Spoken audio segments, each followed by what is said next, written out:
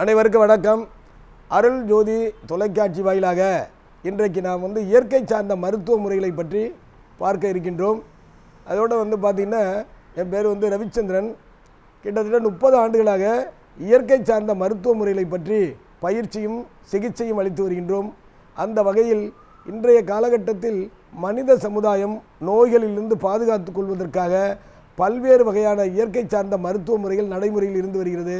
அந்த அடிப்படையில் அக்கு பஞ்சர் அக்கு பிரஷர் வர்மக்கலை ஃபுட் ரிப்ளக்ஸாலஜி மூலிகை மருத்துவம் அதே மாதிரி இறைவழி சார்ந்த அஸ்ட்ராலஜி வாஸ்து சாஸ்திரம் இப்படி பல்வேறு வகையான இயற்கை சார்ந்த முறைகளை மக்களுக்கு எடுத்து கூறியும் நோயோடு வருவதற்கு இயற்கை சார்ந்த மருத்துவ மூலிகை சிகிச்சை அளித்தும் அக்கு பிரஷர் அக்கு பஞ்சர் புற்றுப்ளக்ஸாலஜி வர்மக்கலை மலர் மருத்துவம் மூலிகை மருத்துவம் ஆகியவற்றில் ஒருவருடைய டிப்ளமா பயிற்சியும் நடத்தி வருகின்றோம்.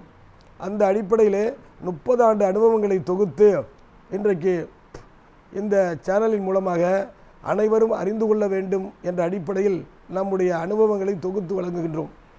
இன்றைய காலகட்டத்தில் நாம் ஆரோக்கியத்தை பாதுகாத்துக் கொள்வதற்காக பல்வேறு வகையான இயற்கை சார்ந்த மருத்துவங்கள் நடைமுறையில் இருக்கின்றன.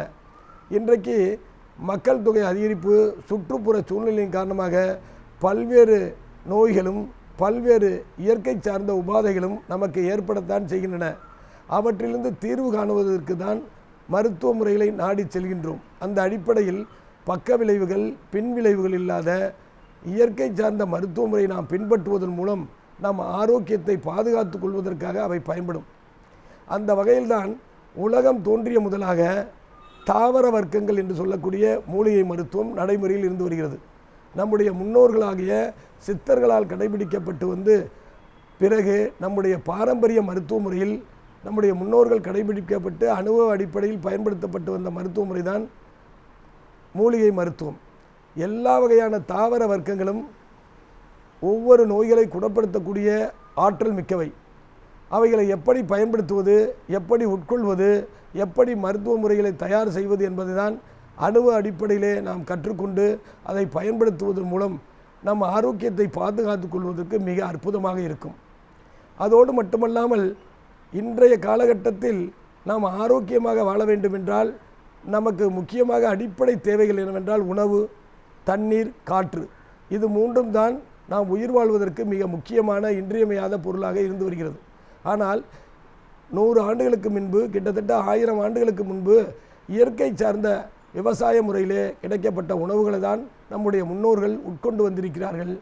இயற்கையான தண்ணீர் அதே போல் இயற்கையான காற்று இவைகளெல்லாம் கிடைத்த காரணத்தினால்தான் அவர்கள் முழுமையாக ஆரோக்கியத்தை பெற்று அற்புத படைப்புகளை படைத்து சென்றிருக்கிறார்கள். ஆனால் இன்றைய காலகட்டத்தில் பெரும்பாலும் உற்பத்தி செய்யக்கூடிய அனைத்து உணவுப் பொருள்களும் அதிகமாக ரசாயன பொருள்கள் இட்டு உற்பத்தி செய்யப்பட நிலையை உருவாகி இருக்கிறது அதைத்தான் நாம் உட்கொள்ளக்கூடிய கட்டாய நிலையில் வாழ்ந்து வருகின்றோம். அதுபோல் பார்த்தோம் அப்படின்னா நமக்கு வந்து சுவாசிக்கக்கூடிய காற்று சுவாசிக்கக்கூடிய காற்றும் நமக்கு தூய்மையான காற்று இல்லை.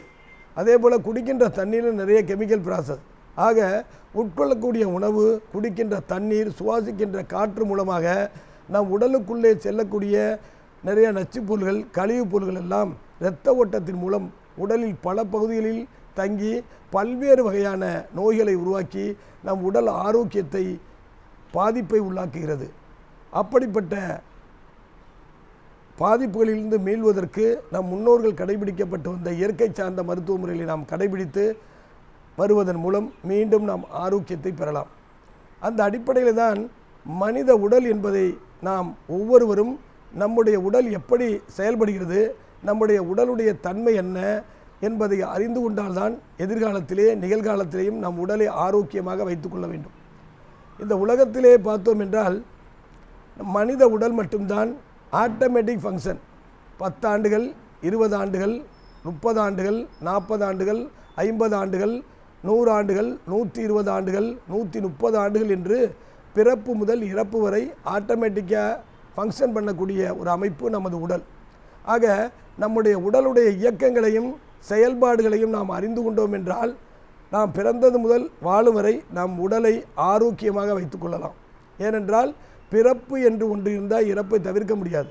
வாழ்கின்ற காலத்தில் நாம் நோயில்லாமல் வாழ்ந்தாலே நாம் வாழ்வதற்கு முக்கியமான அர்த்தமாக இருக்கும்.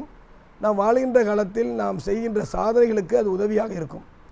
இன்றைய காலகட்டத்தில் வரக்கூடிய அனைத்து நோய்களும் ஒரு முறை வந்துவிட்டால் இறப்பு வரை பின்பற் பின்தொடர்ந்து வந்து கொண்டே இருக்கிறது.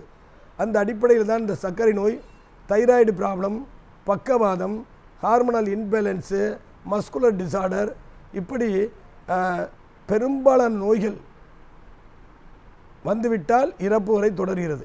ஆக நோயில்லாமல் வாழ்வதற்கும் ஆரோக்கியமாக வாழ்வதற்கும் இன்றைய காலகட்டத்தில் இயற்கை சார்ந்த மருத்துவ முறைகளை நாம் பின்பற்றலாம். அதற்கு அடிப்படையாக நம் உடலை பற்றி நாம் தெரிந்து கொள்ள வேண்டும். ஏனென்று கேட்டால் எந்த நோய்கள் வந்தாலும் நம் உடலுக்குள்ளே தான் வருகிறது. அப்போ வரக்கூடிய நோய்களை தன்னைத்தானே குணப்படுத்தக்கூடிய ஆற்றல் பெற்றுதான் மனிதனுடைய உடல். சித்தர்கள் கூறுகின்ற போது மனித உடலுக்கு எந்த விதமான மருந்தும் தேவையில்லை. நமக்கு ஏற்படக்கூடிய நோய்களை தன்னைத்தானே குணப்படுத்தக்கூடிய ஆற்றல் நம் உடலுக்கு உள்ளது என்று அற்புதமாக சித்தர்கள் கூறியிருக்கிறார்கள்.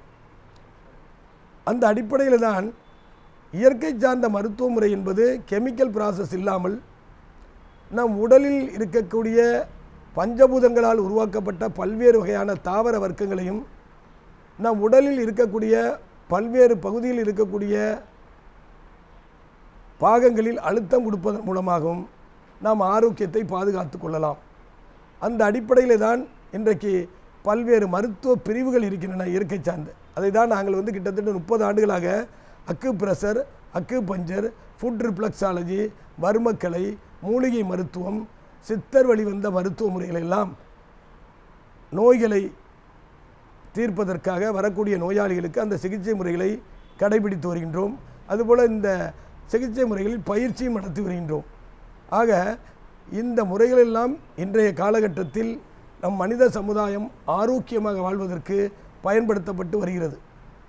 மனித உடலை பற்றி தெரிந்து கொள்ள வேண்டும் என்றால் நம்முடைய மனித உடல் விருட்சம் என்றால் மரம் என்று சொல்லக்கூடியது. மரம் எப்போதும் வேர்கள் கீழிருந்து மேல் நோக்கி செல்லக்கூடிய ஆற்றல் பெற்றதுதான் மரங்கள். நம் மனித உடலானது மரமாக செயல்படக்கூடிய அந்த மூளையானது நம் உடலிலே மேல் பகுதியிலிருந்து வேர் மேல் பகுதியிலிருந்து கீழ் நோக்கி வருகிறது. அப்படிப்பட்ட ஆற்றல் மிக்க மனித உடலை அற்புதமான ஒரு அமைப்பை தான் உருவாக்கப்பட்டிருக்கிறது என்பதை வியக்கத்தக்க விஞ்ஞானத்தை வியக்கத்தக்க செயலாகவே இருந்து வருகிறது. ஆக இன்றைய காலகட்டத்தில் நாம் ஆரோக்கியத்தை பாதுகாக்க எப்படியெல்லாம் செயல்படலாம் என்பதை பற்றி இயற்கை சார்ந்த முறையிலே நம்முடைய இந்த சேனல் மூலமாக படிப்படியாக பார்க்க இருக்கின்றோம். அந்த அடிப்படையில் ஒவ்வொரு மருத்துவ முறையாக பார்க்கின்றோம்.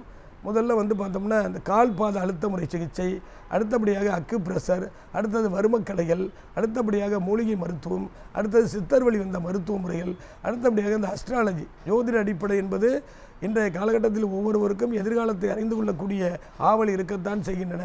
அப்படி இந்த பஞ்சபூத தத்துவங்களில் மனித உடலை எந்த அளவுக்கு பாதிக்கின்றன என்பதையெல்லாம் படிப்படியாக இந்த சேனல் மூலம் பார்ப்போம். இப்போ நம்ம பார்க்குறது இயற்கை சார்ந்த மருத்துவ முறையில் நம் ஆரோக்கியத்தை பாதுகாப்பதற்கும் நமக்கு ஏற்படக்கூடிய நோய்களிலிருந்து குணப்படுத்துவதற்கும் எப்படி பயன்படுகிறது என்பதை பார்ப்போம். பல்வேறு வகையான இயற்கை சார்ந்த மருத்துவ முறைகள் இன்றைய காலகட்டத்தில் நடைமுறையில் இருந்து வருகிறது.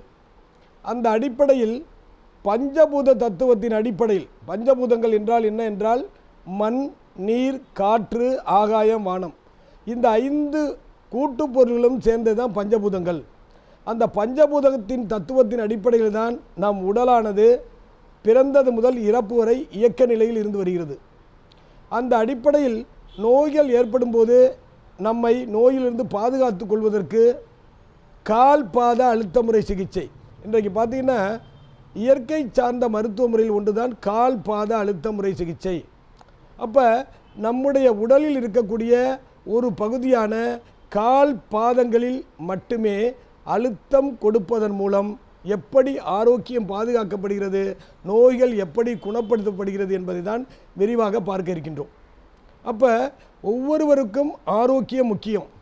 ஆரோக்கியம் இழக்கும்போது நம்மிடம் இருக்கக்கூடிய அனைத்து செல்வங்களையும் இழந்து மீண்டும் ஆரோக்கியத்தை பெற முடியுமா என்பதை நாம் சிந்திக்க தோன்றுகிறது நமக்கு. அப்படி நாம் வாழுகின்ற போது ஆரோக்கியத்தை பாதுகாக்கக்கூடிய முறைகளை நம்முடைய முன்னோர்களும் சித்தர்களும் வழிவகுத்து நம்மிடம் விட்டு சென்றிருக்கிறார்கள். ஆக அந்த கால்பாத சிகிச்சையினுடைய பயன்கள் என்ன? இது எப்படி செயல்படுகிறது? இதன் மூலம் எப்படி ஆரோக்கியத்தை பாதுகாத்து கொள்ளலாம்? எப்படி நோய்கள் குணமாகிறது என்பதுதான் பார்க்கின்றோம். முதலில் நம்முடைய உடலில் உள்ள உறுப்புகள் என்றால் இந்த பத்து உறுப்புகள் தான் மிக முக்கியமாக நம் உடல் இயக்கத்தை சரியான முறையில் வழிநடத்தி செல்லக்கூடிய பத்து உறுப்புகள். ஒவ்வொருவரும் இந்த பத்து உறுப்புகள் நம் உடலிலே எந்தெந்த பகுதியில் இருக்கிறது என்பதை அறிந்து கொள்ள வேண்டும். இன்றைக்கு பெரும்பாலானவர்களுக்கு இந்த பத்து உறுப்புகள் உடலில் எந்தெந்த பகுதியில் இருக்கிறது என்பதை அறியாத சூழ்நிலையிலும் வாழ்ந்து வருகிறார்கள். ஆக ஹார்ட் என்று சொல்லக்கூடிய ஒரு உறுப்பு லெஃப்ட் சைடில் இருக்குது. இது எல்லாருக்குமே தெரியும். திடீர்னு இந்த பகுதியிலே வந்து வழி வரும்போது உடனடியாக மருத்துவமனைக்கு செல்ல சென்று முறையாக சிகிச்சை பெறக்கூடிய ஒரு அவலநிலை. எடுத்து தான் ஆக வேண்டும். ஏன்னா ஹார்ட் வந்து உயிர் வாழ்வதற்கு முக்கியமான உறுப்பு. அதுக்கு கீழே பார்த்தீங்கன்னா ஸ்பிளின் மண்ணீரல் என்று சொல்லக்கூடிய ஒரு உறுப்பு இருக்கிறது. அது கீழே கிட்னி சிறுநீரகம் என்ற உறுப்பு இருக்கிறது. அதற்கு கீழே யூனரி பிளாடர் இந்த ரைட் சைடில் பார்த்தோம்னா லிவர் அது கீழே கால் பிளாடர் மேலே வந்து லங்ஸு சென்ட்ரலில் ஸ்டெமக்கு சுமால் இண்டஸ்ட்ரின் லார்ஜ் இண்டஸ்ட்ரின் ஆக இந்த பத்து உறுப்புகள் தான் நாம் பிறப்பு முதல் இறப்பு வரை நம்மளை ஆட்டோமேட்டிக் ஃபங்க்ஷன் செயல்படுகிறது. ஒவ்வொன்றுக்கும் ஒரு குறிப்பிட்ட வேலைகள் இருக்கின்றன. இந்த பத்து உறுப்புகளுக்கு தொடர்புடைய புள்ளிகள் கனெக்டட் பாயிண்ட் நம் இரண்டு கால் பாதங்களில் உள்ளது. இந்த ரிப்ளக்ஸாலஜி என்று சொல்லக்கூடிய கால் பாத அழுத்த முறை சிகிச்சையில் இந்த பத்து உறுப்புகளில் ஹார்ட்டு ஸ்ப்ளீன் மண்ணீரலும் இருதயமும் இதற்கு தொடர்புடைய கனெக்டட் பாயிண்ட் லெஃப்ட் சைடு கால் பாதங்களில் மட்டுமே இருக்கும். ஏனென்றால் லெஃப்ட் சைடு நம்ம உடலில் வந்து சென்றாக ஒரு கோடு போட்டோம்னா லெஃப்ட் சைடில் மட்டுமே இருதயமும் மண்ணீரலுக்கும் இருக்கின்றன. ஆக இந்த மண்ணீரலுக்கும் இருதயத்துக்கும் தொடர்புடைய புள்ளிகள் நம்முடைய கால் பாதங்களில் லெஃப்ட் சைடு கால் பாதங்களில் மட்டுமே இருக்கும். அதே போல் லிவர் கல்லீரல் பித்தப்பை இது தொடர்புடைய ரெண்டு உறுப்புக்கு தொடர்புடைய அந்த கனெக்டடு பாயிண்ட் ரைட் சைடு கால் பாதங்களில் மட்டுமே இருக்கும். மற்ற இருக்கக்கூடிய எட்டு உறுப்புகள் தொடர்புடைய புள்ளிகள் இரண்டு காலங்களில் இருக்கும். ஹார்ட்டு அதே போல் பார்த்தோம் அப்படின்னா கிட்னி ரெண்டு கால்லையும் அந்த கனெக்டட் பாயிண்ட் இருக்கும். யூனரி பிளாடர் ரெண்டு கால்லையும் அந்த கனெக்டட் பாயிண்ட் இருக்கும். லங்ஸு ரெண்டு கால்லையும் அந்த கனெக்டட் பாயிண்ட் இருக்கும்.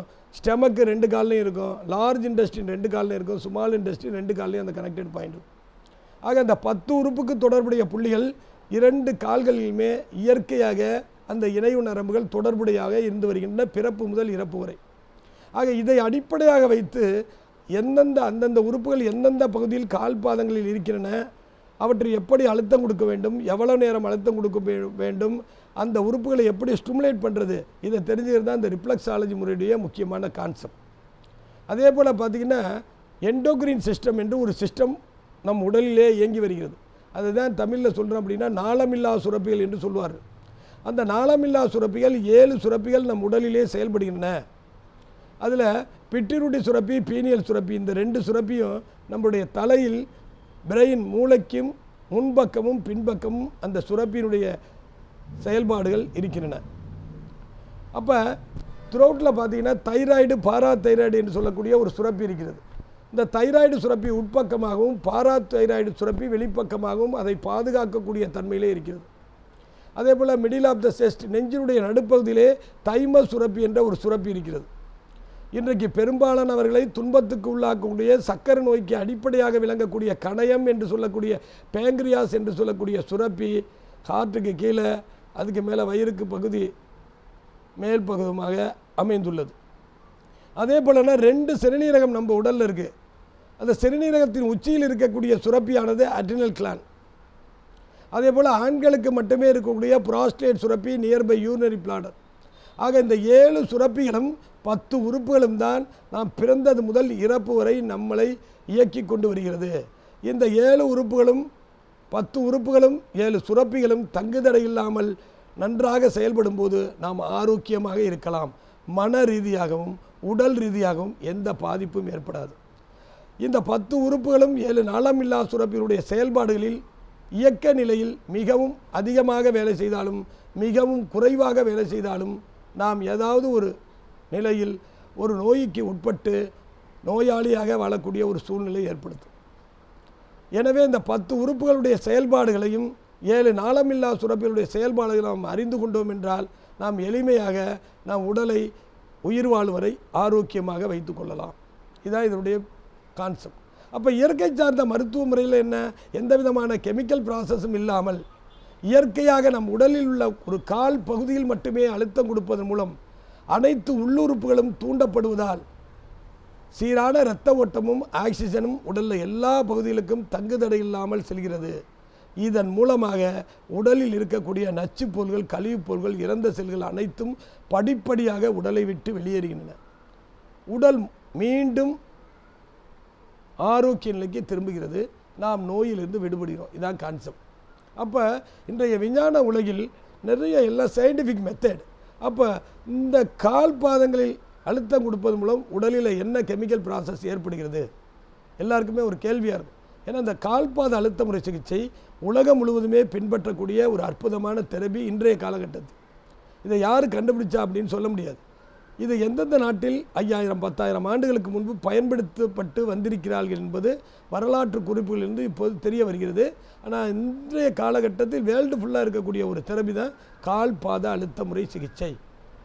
அப்போ விஞ்ஞான உலகில் எல்லாமே சயின்டிஃபிக்காக நம்ம கொண்டு போகும்போது இந்த இயற்கை மருத்துவ முறையை எப்படி ஏற்றுக்கொள்வது? இதற்கென்று ஒரு சயின்டிஃபிக் இருக்கா? அப்போ கால் பாதங்கள் அழுத்தம் கொடுப்பது மூலம் ஆரோக்கியம் நமக்கு எப்படி கிடைக்கிறது? நோய்கள் எப்படி குணமாகின்றன இது எல்லாருக்குமே ஒரு வியக்கத்தக்க கேள்வியாகவே இருக்கும். அப்போ இந்த பத்து உறுப்புகளும் ஏழு நாளமில்லா சுரப்பிகளும் செயல்பாடுகளை நாம் அறிந்து கொண்டோம் என்றால் எளிமையாக வாழ்நாள் முழுவதும் நாம் ஆரோக்கியமாக வாழலாம். எல்லா நோய்களும் இந்த உடலில் வர்றது தான் புதுசாக வர்றது கிடையாது. இந்த பத்து உறுப்புகளையும் ஏழு நாளமில்லா சுரப்பிகளையும் பாதிக்கப்படுவது தான் அந்தந்த நோய்கள். நோய் வருவதற்கு அடிப்படை காரணம் என்ன? ஒரு டிசீஸ் வருது அதுக்கு என்ன காரணம்? அடிப்படை காரணம் என்ன? நச்சுப் பொருள்கள் கழிவுப் பொருள்கள் இறந்த செல்கள் உடலில் தேக்க நிலை ஏற்படும் போது எந்த உறுப்பில் அவை டெபாசிட் ஆகி சேமிக்கப்படுகிறதோ அந்த உறுப்பு தொடர்பான நோய்கள் ஏற்படும். இதான் வந்து கான்செப்ட் இப்போ துரவுட்டில் போய் நச்சுப் பொருள்கள் கழிவுப் பொருள்கள் தேக்க நிலை தான் துரவுட் இன்ஃபெக்ஷன் லெங்ஸில் நச்சுப் பொருள்கள் கழிவுப் பொருள்கள் தேக்க நிலை இருந்தால் லெங்ஸ் இன்ஃபெக்ஷன் கிட்னியில் நச்சுப் பொருள்கள் கழிவுப் பொருள்கள் தேக்க இருந்தால் கிட்னி இன்ஃபெக்ஷன் யூனரி பிளாடரில் நச்சுப் பொருள்கள் கழிவுப் பொருள்கள் தேக்க இருந்தால் யூனரி பிளாடர் இன்ஃபெக்ஷன் ஸ்டெமக்கில் நச்சுப் பொருள்கள் கழிவுப் பொருள்கள் தேக்க இருந்தால் ஸ்டெமக் இன்ஃபெக்ஷன். கால் பிளாடரில் நச்சுப் பொருள்கள் கழிவுப் பொருள்கள் தேக்க இருந்தால் கால் பிளாடர் இன்ஃபெக்ஷன். அதே போல் பேங்கரியாஸ் என்று சொல்லக்கூடிய கணையத்தில் நச்சுப் பொருள்கள் கழிவுப் பொருள் தேக்க நிலை இருந்தால் பேங்கரியாஸ் இன்ஃபெக்ஷன். பிரெயினுக்கு அருகாமையில் உள்ள இரத்த குழாய்களில் நச்சுப் பொருள்கள் கழிவுப் பொருள் தேக்க இருந்தால் அந்த பகுதியினுடைய பிரெயின் சம்மந்தப்பட்ட ஒரு இன்ஃபெக்ஷன். இந்த நச்சுப் கழிவுப்பொருள்கள் கழிவுப் பொருள்கள் எந்த பகுதியில் உடலில் தேக்க நிலை அடைகிறதோ அந்த பகுதி டேமேஜ் ஆகி அது தொடர்பான நோய்கள் ஏற்பட்டு நாம் துன்பத்துக்கு உள்ளாகின்றோம். இதுதான். அப்போ நச்சுப்பொருள்கள் கழிவுப்பொருள்கள் முழுமையாக உடலை விட்டு வெளியேறப்படுவதற்கு எடுக்கப்படுவதால் சிகிச்சை முறை. அந்த சிகிச்சை முறை கூட தான் மாடர்ன் மெடிசன் நம்ம இயற்கை சார்ந்த மருத்துவரை என்ன செய்கிறோம்னா கால் பாதங்களில் எந்தெந்த புள்ளிகளுக்கு தொடர்புடைய இந்த கரஸ்பாண்டன் பாயிண்டில் அழுத்தம் கொடுப்பதன் மூலம் நரம்பு மண்டலம் தூண்டப்படுகிறது. கால் பாதங்களில் இருக்கக்கூடிய உள்ளுறுப்புகளுக்கு தொடர்புடைய புள்ளிகளில் முறையாக அழுத்தம் கொடுப்பதன் மூலம் நம் உடலில் இருக்கக்கூடிய நரம்பு மண்டலம் தூண்டப்படுகிறது. சித்தர்களுடைய தத்துவத்தின் அடிப்படையிலே நம் உடலில் பார்த்தீங்கன்னா seventy two nerves connected human body எழுபத்தி ரெண்டாயிரம் நரம்பு இணைப்புகள் இருக்கக்கூடிய நமது உடல். ஒரே நேரத்தில் எட்டு வகையான பணிகளை செய்யக்கூடியது நம்மளுடைய உடல். ஏன்னா ஒருத்தர் வந்து சாப்பிட்டுட்டு இருப்பார். அதே நேரத்தில் கண்ணு ஒரு செயலை பார்த்து கொண்டிருக்கும். காது ஒரு செயலை கேட்டு கொண்டிருக்கிறதும் எண்ணங்கள். அதாவது நேற்று என்ன நடந்தது? ஒரு வருடத்துக்கு முன்பு என்ன வந்தது என்று சிந்திக்கக்கூடிய மனநிலை நம்மிடம் இருக்கும். அதே நேரத்தில் நம்ம உடலில் ஏதாவது எறும்போ கொசுவோ வந்து உட்காந்துட்டுனா தன்னை அறியாமலே ஓங்கி அடிச்சிருவோம். இப்படி அந்த பாதுகாப்பு மண்டலங்கள் நம் உடலை சுற்றி எந்த நேரத்திலும் செயல்பட்டு கொண்டிருக்கும். இதுதான் விஞ்ஞானத்தை வியக்க வைக்கக்கூடிய நம்ம உடலுடைய தத்துவத்தினுடைய அடிப்படை. அந்த அடிப்படையில் கால் பாதங்களில் அழுத்தம் கொடுக்கும்போது நரம்பு மண்டலம் தூண்டப்படுகிறது.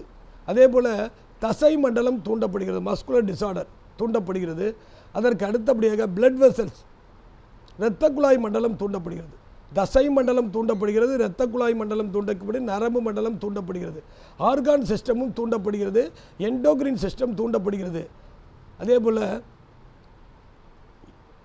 இந்த அனைத்து உறுப்புகளும் கால் பாதங்களில் அழுத்தம் கொடுப்பது மூலம் தூண்டப்படுவதால் இரத்த குழாய் விரிவடைந்து சீரான இரத்த ஓட்டமும் ஆக்சிஜனும் உடலில் எல்லா பகுதிகளுக்கும் சென்றடைவதற்கு இந்த கால் பாத அழுத்த முறை சிகிச்சை நூறு சதவீதம் நமக்கு உதவுது அப்போ எல்லா பகுதிகளுக்கும் ரத்தம் சீராக செல்வதன் மூலம் எந்தெந்த பகுதியில் உடலில் நச்சுப் பொருள்கள் கழிவுப் பொருள்கள் தேக்க நிலை இருக்கிறதோ அவைகள் படிப்படியாக உடலை விட்டு வெளியேறுகின்றன.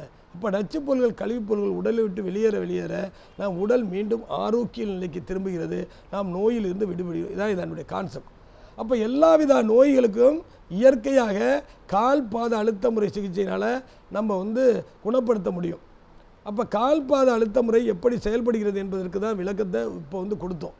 ஆனால் நம்ம உடலில் பார்த்திங்கன்னா காய்கறிகள். நாம் சாப்பிடக்கூடிய எல்லா உணவுப் பொருளும் இட்லி தோசை வடை பொங்கல் பூரி புரோட்டா நான் வெஜிடபிள் வெஜிடேரியன் காய்கறிகள் எல்லாம் சாப்பிட்றோம். இதில் என்ன இருக்குது இதில் இருக்கக்கூடிய carbohydrate vitamin protein calcium potassium sodium இதெல்லாம் நம் இயற்கையான உணவுப் பொருள்களையே நமக்கு கிடைக்கின்றன. அப்போ கால் பாதங்கள் மட்டும் அழுத்தம் கொடுப்பதன் மூலம் எப்படி கெமிக்கல் ப்ராசஸ் இல்லாமல் அந்த நோய்கள் குணப்படுத்தப்படுகிறது அப்படிங்கிறது தான் எல்லாருக்குமே ஒரு கேள்வி. அப்போ அந்த பத்து உறுப்புகளுடைய வேலை என்ன? ஏழு நாளமில்லா சுரப்பிகள் எப்படி உடலிலே செயல்படுகிறது? இதை தெரிந்து கொண்டால் இந்த மருத்துவ முறையை எளிமையாக நம்ம கடைபிடிக்கலாம். எங்களுடைய சென்று இருபத்தஞ்சு ஆண்டுகளாக கால் பாத அழுத்த முறை பயிற்சியும் சிகிச்சையும் அளித்து வர்றோம்.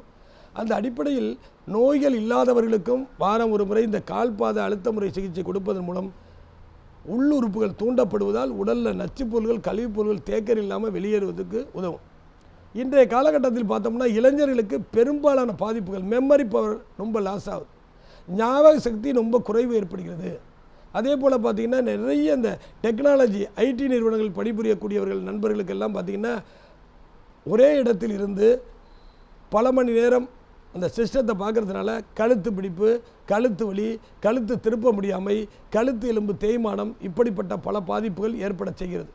அதுபோல் spinal cord L four L five S one இந்த ஸ்பைனல் கார்டில் ப்ராப்ளம் ஏற்படும் போது லோவர் பேக் பெயின் அதே போல அந்த நரம்புகள் அழுத்தப்படுவதால் நமக்கு வந்து சயாட்டிக்கா என்று சொல்லக்கூடிய நரம்பு வலி இப்படி ஸ்பைனல் கார்டு ப்ராப்ளம் அந்த ஸ்பைனல் கார்டே வளைஞ்சிருது நிறைய இளைஞர்களுக்கு.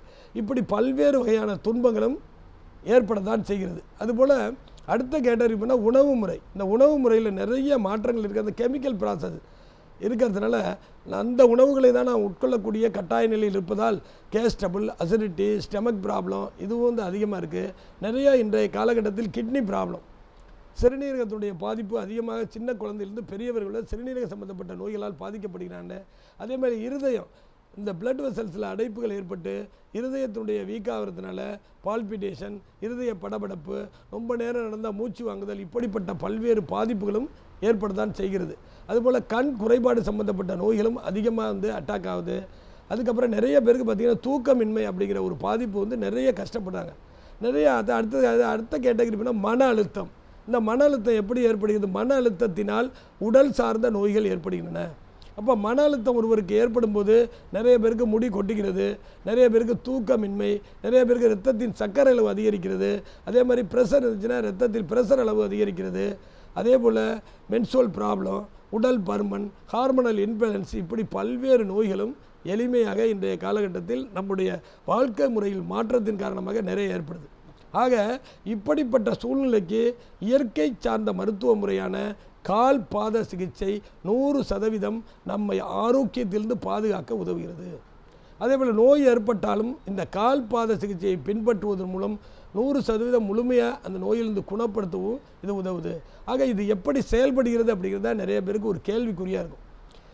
சுருக்கமாக பார்த்தீங்கன்னா ஹார்ட்டு ஹார்ட்டுடைய வேலை என்ன? சர்க்குலேட்டரி சிஸ்டம் ஒரு குழந்தை பிறந்ததுலேருந்து இறப்பு வரை காற்று வந்து ஹார்ட்டு ஃபங்க்ஷன் ஆகிட்டே இருக்கும். டக் டக் டக் டக். அதை வச்சு தான் அந்த நாடி துடிப்பே நம்ம பார்க்குறது அப்போ ஒரு குழந்தை தாயினுடைய கர்ப்பப்பையில் இருக்கும்போது ஒரு எட்டு மாதத்தில் அது உயிரோடு இருக்கான்னு தெரிஞ்சுக்கிறதுக்கு செலஸ்கோப்பை வச்சு பார்த்தாங்கன்னா டக் டக் டக்குன்னு அடிக்கும். ஹார்ட்டு ஃபங்க்ஷன் ஆனால் அது உயிரோடு இருக்குன்னு அர்த்தம். அதே போல் ஹார்ட்டுடைய ஃபங்க்ஷன் நின்று போயிட்டுனா நம்ம உடல் வந்து உயிர் பிரிந்து விரிகிறது. அப்போ ஹார்ட்டுடைய செயல்பாடு என்ன? ஓரளவுக்கு சின்ன குழந்தைகள் முதல் பெரியவர்களுடைய இயக்கம் கொஞ்சம் கொஞ்சமாக குறைந்து கொண்டே வரும். அந்த இயக்கம் சரியாக இருந்தால் நாம் ஆரோக்கியமாக வாழலாம். அப்போ தான் வந்து ஹார்ட் நல்லா ஃபங்க்ஷன் ஆனால் வந்தால் பிளட் வெசல்ஸில் இரத்த குழாயில் இரத்த ஓட்டமானது உடலில் எல்லா பகுதிகளுக்கும் தங்குதடை இல்லாமல் செல்லும். இரத்த குழாய்கள் சுருக்க நிலை அடையாது என்லார்ஜ் ஆகாது இரத்த குழாயில் அடைப்புகள் ஏற்படாது இரத்த குழாயில் கொலஸ்ட்ரால் படிமங்கள் இருக்காது அதே போல் இரத்த குழாயில் சர்க்கரை படிமங்கள் இருக்காது ஹார்ட் நல்லா ஃபங்க்ஷன் ஆகும் அதனுடைய இயக்க நிலையில் மாற்றம் ஏற்படும் போது இரத்த குழாயில் சர்க்கரை படிமங்கள் அதிகமாக இருக்கும்.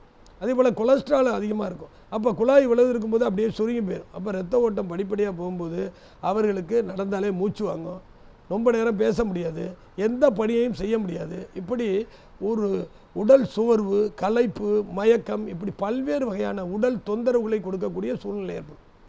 ஒரே நேரத்தில் ஆறு வழி பாதைகள் ஹார்ட்டுக்கு செல்லக்கூடிய இரத்த குழாய்கள் அடைப்பு ஏற்படும் போது நம்ம ஹார்ட் அட்டாக்கால் இறந்துடும் இந்த ஒன்று ரெண்டில் அடைப்பு ஏற்படும்போது மயக்கடுத்து விழுந்தால் டக்குன்னு ஹாஸ்பிட்டல் அழைச்சி போனால் இன்றைய மெடிக்கல் சூழ்நிலையில் அவங்கள காப்பாற்றுவதற்கு நிறைய சிஸ்டங்கள் இருக்குது அப்போ ஹார்ட் நல்லா ஃபங்க்ஷன் ஆகணும்னா அதை ஸ்டிமுலேட் பண்ணணும். நாங்கள் ரிப்ளக்ஸாலஜியில் என்ன பண்ணோம்? ஹார்ட்டுக்கு தொடர்புடைய புள்ளிகள் அழுத்தம் கொடுப்பதன் மூலம் அது ஸ்டிமுலேட் ஆகுது. அது அருகில் இருக்கக்கூடிய நச்சுப் பொருள்கள் கழிவுப் பொருள்கள் அதை இடத்த விட்டு கொஞ்சம் நவருது. இதன் மூலமாக அதனுடைய இயக்க நிலை சீராக இயங்குவதற்கு ரிப்ளக்ஸாலஜி சிஸ்டம் நூறு சதவீதம் உதவுது. அதே போல் தான் மண்ணீரல். மண்ணீருடைய வேலை என்ன? நம்ம சாப்பிட்றது இட்லி தோசை வடை பொங்கல் பூரி புரோட்டா வெஜிடபிள்ஸு பழங்கள் நிறைய இதை தான் சாப்பிட்றோம். நம்ம உடல் நாம் உட்கொள்ளக்கூடிய உணவுப் பொருளிலிருந்து நம்ம உடலுக்கு தேவையான இரத்தத்தை உற்பத்தி செய்கிறது. அந்த இரத்தத்தை உற்பத்தி செய்வதற்கு நம்ம மண்ணீரல் உதவி செய்கிறது. மண்ணீரலிருந்து சுரக்கக்கூடிய அந்த ஹார்மோன் நம்ம உடலுக்கு தேவையான ரத்தம் ரத்தத்தில் இருக்கக்கூடிய ஆர்பிசி டபிள்யூபிசி இவைகளெல்லாம் சமநிலைக்கு கொண்டு வருகிறது. அந்த மண்ணீரல் சிறப்பாக செயல்பட்டால் தான் ஹியூமோகுளோபின் ரத்தத்தில் அயன் கண்டென்ஸு சமநிலையில் இருக்கும். இம்யூனிட்டி சிஸ்டம் நம்ம உடலில் இருக்கும். நோய் எதிர்ப்பு சக்தி நம்ம உடலில் இருந்தால்தான் நாம் எதையும் எதிர்கொள்ளக்கூடிய ஆற்றல் நமக்கு இருக்கும். சாதாரணமாக பார்த்தீங்கன்னா நோய் எதிர்ப்பு சக்தி இல்லாதவங்களுக்கு அடிக்கடி ஃபீவர் வரும். அடிக்கடி த்ரோட் இன்ஃபெக்ஷன் வரும். அடிக்கடி ஜலதோஷம் வரும். இப்படி சின்ன சின்ன பாதிப்புகள் தொடர்ந்து வந்து கொண்டே இருக்கும். அப்போ நம்ம உடலில் நோய் எதிர்ப்பு சக்தியை இயற்கையாக உருவாக்கக்கூடிய ஒரு ஆர்கன் எதுன்னா அந்த மண்ணீர். மண்ணீரல் சரியாக ஃபங்க்ஷன் ஆகலை நின்று போயிட்டு அப்படின்னா பிளட் கேன்சர் வரும். நிறைய இரத்த சம்மந்தப்பட்ட நோய்கள் வருவதற்கு காரணமாகிறது. பெண்களுக்கு முக்கியமாக மண்ணீரல் நல்லா ஃபங்க்ஷன் ஆனால் தான் மென்சுவல் ப்ராப்ளம் இல்லாத பாதிப்பு இல்லாமல் சிறப்பாக செயல்படக்கூடிய ஒரு அமைப்பு ஏற்படும். ஆக இந்த ஹார்ட்டுடைய பாயிண்ட்டும் மண்ணீரல் தொடர்புடைய புள்ளியும் கால் பாதங்கள் லெஃப்ட் சைடில் இருக்கிறதுனால நாங்கள் கால் பாத அழுத்த முறை சிகிச்சை கொடுக்கும்போது இந்த புள்ளிகளில் அழுத்தம் கொடுத்து அதை ஸ்டிமுலேட் பண்ணுவோம். அதே போல் பார்த்தீங்கன்னா சிறுநீரகம் ரெண்டு சிறுநீரகம் நமக்கு இருக்குது ஒரு கிட்னி வந்து ஃபெயிலியர் ஆனாலும் ஒன்று வந்து நம் உயிரை பாதுகாக்கும். அப்போ சிறுநீரகத்துடைய ஃபங்க்ஷன் என்ன? இரத்தத்தில் இருக்கக்கூடிய அதிகப்படியான சோடியம் பொட்டாசியம் கழிவுப் பொருள்கள் நச்சுப் பொருள்கள் இறந்த செல்கள் இவையெல்லாம் ஃபில்ட்ரு பண்ணி கழிவுகளை வெளியேற்றிவிட்டு தூய்மையான இரத்தத்தை நம்ம உடலுக்கு கொடுக்குது. ஆனால் இன்றைய காலகட்டத்தில் நாம் சாப்பிடுகின்ற உணவுப் பொருள்கள் அதிகமான நச்சுப் பொருள்கள் கழிவுப் பொருள்கள் ரசாயன பொருள்கள் அதிகமாக இருக்குது குடிக்கிற தண்ணீரும் தூய்மையாக இல்லை. சுவாசிக்கிற காற்றும் தூய்மையாக இல்லை. அப்போ உட்கொள்கின்ற உணவு குடிக்கின்ற தண்ணீர் சுவாசிக்கின்ற காற்று மூலமாக உடலுக்குள்ளே செல்லக்கூடிய நச்சுப் பொருள்கள் கழிவுப் பொருள்கள் அதிகமாக இரத்த ஓட்டத்தின் மூலம் சிறுநீரகத்துக்கு சென்றடைகிறது. அதனால தான் நிறைய பேருக்கு இந்த கிட்னி ஃபெயிலியர் நிறையா இருப்பது சிறுநீரகத்தில் கிரியாட்டி லெவல் அதிகமாகிடுது சிறுநீரகம் சுருங்கி போயிடுது என்லார்ஜ் ஆகுது. அது ஃபங்க்ஷன் வந்து do not proper function function தடைபடுகிறது. அந்த மாதிரி நேரத்தில் தான் டயாலிசிஸ்ங்கிற ஒரு ட்ரீட்மெண்ட்டை கொடுத்து உயிரை பாதுகாக்கிறாங்க. அதுக்கு முன்பு நம்ம இந்த ரிஃப்ளெக்ஸாலஜிலாம் கொடுத்து அதை வந்து ஆக்டிவேட் பண்ணுறதுனால அது வந்து சீரான கழிவுப் பொருட்களை எளிமையாக வெளியேற்றுவதற்கு நமக்கு உதவி செய்யும். அடுத்தது பார்த்திங்கன்னா அந்த இந்த யூனரி பிளாடர் வந்து முக்கியமான ஒரு பை பழுவுன்னு மாதிரி.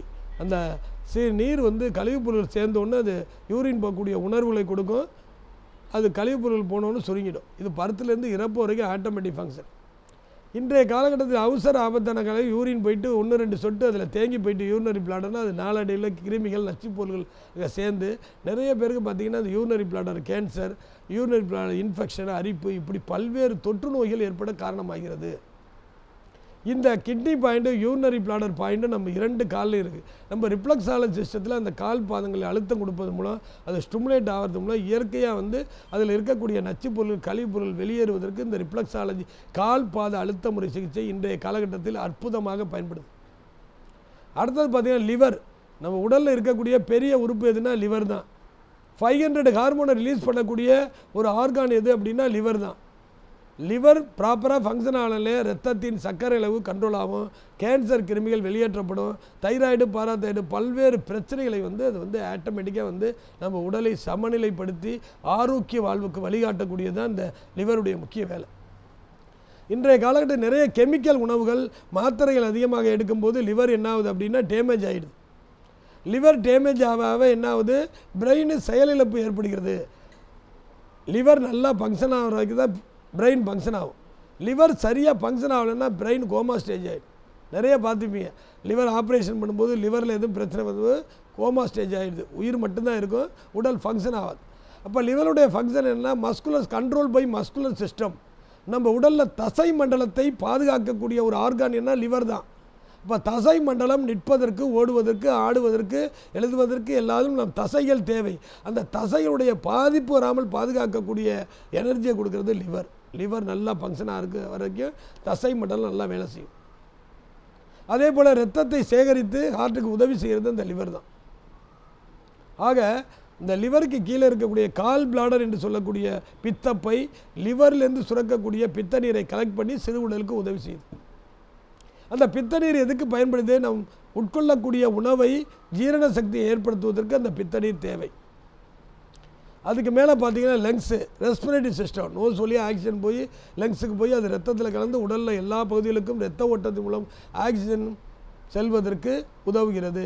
அப்போ ஆக்சிஜன் உள்ளே போகல அப்படின்னா லங்ஸ் என்னாகும் பாதிப்பு ஏற்படும் உயிரிழப்புகள் ஏற்படும். அதில் நிறைய நச்சுப்பொருள்கள் கழிவுப்பொருள் பொருட்கள் போகும்போது ஆஸ்மா வீசிங் ப்ராப்ளம் மூச்சுத்திறல் போன்ற பல்வேறு விதமான பாதிப்புகள் ஏற்படுகின்றன. அப்போ ஒவ்வொரு உறுப்புகளும் ஒவ்வொரு வேலையை இறப் பிறப்பு முதல் இறப்பு வரை தொடர்ந்து செய்து கொண்டு வருகிறது. அதில் ஏதாவது தேக்க நிலை ஏற்படும் போது நம் உடலில் பாதிப்பு ஏற்படுகிறது. இதுதான் இதனுடைய கான்செப்ட் அப்போ கால் பாத சிகிச்சையின் மூலமாக கால் பாதங்களில் இருக்கக்கூடிய உள்ளுறுப்புகளுக்கு தொடர்புடைய புள்ளிகளில் இயற்கையாக அழுத்தம் கொடுப்பதன் மூலம் அந்த உறுப்புகள் தூண்டப்படுகின்றன. அதன் மூலமாக உடலில் சீரான இரத்த ஓட்டம் ஏற்படுகிறது. உடலில் தேக்க நிலையில் இருக்கக்கூடிய நச்சுப் பொருள்கள் கிருமிகள் இறந்த செல்கள் படிப்படியாக உடலை விட்டு வெளியேறுகின்றன. உடல் மீண்டும் ஆரோக்கிய நிலைக்கு திரும்புகிறது. இதான் ரிப்ளக்ஸாலஜி கால் பாத சிகிச்சையுடைய முக்கியமான கான்செப்ட் அடுத்தது பார்த்திங்கன்னா மேலே இருக்கிறது வயிறு அதுக்கப்புறம் சிறுகுடல் அடுத்தது சுமால் இண்டஸ்ட்ரின் பெருங்குடல். வயிறு சிறுகுடல் பெருங்குடல். இந்த மூணுடைய முக்கியமான வேலைகள் என்னென்னா எந்த உணவை நம்ம உட்கொண்டாலும் அவை வயிறுக்கு செல்கிறது ஸ்டெமக் அங்கிருந்து டிரான்ஸ்ஃபர் ஆகி சுமால் இண்டஸ்ட்ரின்னு செல்கிறது நாம் சாப்பிட்ட உணவுப் பொருளில் இருக்கக்கூடிய carbohydrate vitamin protein calcium potassium sodium iron இவையெல்லாம் சிறுகுடலில் பிரித்து எடுக்கப்பட்டு எந்தெந்த உறுப்புகளுக்கு என்னென்ன சத்துக்கள் தேவையோ அவையெல்லாம் செல்கின்றன. மிஞ்சி இருக்கக்கூடிய கழிவுப் பொருட்கள் பெருங்குடல் வழியாக மோசனாக வெளியேறுகிறது. ஆக இந்த பத்து உறுப்புகளும் பிறப்பு முதல் இறப்பு வரை ஆட்டோமேட்டிக் வேலை அதனுடைய படிகளை தொடர்ந்து செய்து வருகிறது. அப்போ உடலில் இருக்கிற தசை மண்டலம் எல்லாம் லிவர் கண்ட்ரோலில் உள்ளது. உடலில் இருக்கக்கூடிய இரத்த குழாய்கள் எல்லாமே ஹார்ட் கண்ட்ரோலில் உள்ளது. உடலில் இருக்கக்கூடிய நரம்புகள் எல்லாமே பிரெயின் கண்ட்ரோலில் உள்ளது. அதே போல் உடலில் இருக்கக்கூடிய ஸ்கின் இருக்கிற தோல் லங்ஸு கண்ட்ரோலில் உள்ளது. Digestion ஆர்கான்லாம் stomach small intestine large intestine கண்ட்ரோலில் உள்ளது. தலையில் உள்ள முடி கிட்னி கண்ட்ரோலில் உள்ளது. உடலில் உள்ள இருக்கக்கூடிய முடிகள் லங்ஸு கண்ட்ரோலில் உள்ளது. காது கிட்னி கண்ட்ரோலில் உள்ளது கண்டல் லிவர் கண்ட்ரோலில் உள்ளது மவுத்து ஸ்பிரின் மண்ணீரல் கண்ட்ரோலில் உள்ளது நாக்கு ஹார்ட் கண்ட்ரோலில் உள்ளது நோஸு லங்ஸு கண்ட்ரோலில் உள்ளது. நிகங்கள் கிட்னி கண்ட்ரோல் ஆக உடலில் உள்ள அனைத்து பார்ட்டும் இந்த பத்து உறுப்புகளில் கட்டுப்பாட்டில் வந்து விடுகிறது. ஆக ஏதாவது அந்த பத்து உறுப்புகளில் பாதிப்பு ஏற்படும் போது அது சிம்டம்ஸ் பிரதிபலிப்பு அது கனெக்டடு ஆர்கானில் வந்து பாதிப்பு ஏற்படும். இப்போ லங்ஸில் ஏதாவது பிரச்சனை வருது ஆஸ்மா வீசிங் ப்ராப்ளம் வரும்போது ஸ்கின் வந்து அப்படியே கலர் சேஞ்ச் ஆயிரும். நிற மாற்றங்கள். பல பாதிப்புகள் ஸ்கின் டிசீஸ் ஏற்பட காரணமாக இப்படி இந்த பத்து உறுப்புகளை கட்டுப்பாட்டில் நம் உடல் இயங்குகிறது. இந்த பத்து உறுப்புகள் தான் நம்ம கால் பாதங்களில் இருக்கிறது. அதில் தான் நம்ம அழுத்தம் கொடுப்பதன் மூலம் அவைகளை வந்து ஸ்டிமுலேட் பண்ணுறோம் அந்த இயக்கத்தை நார்மலான நிலைக்கு கொண்டு வருவதற்கு இந்த கால் பாத சிகிச்சை நூறு சதவீதம் என்ற காலகட்டத்தில் உதவுது.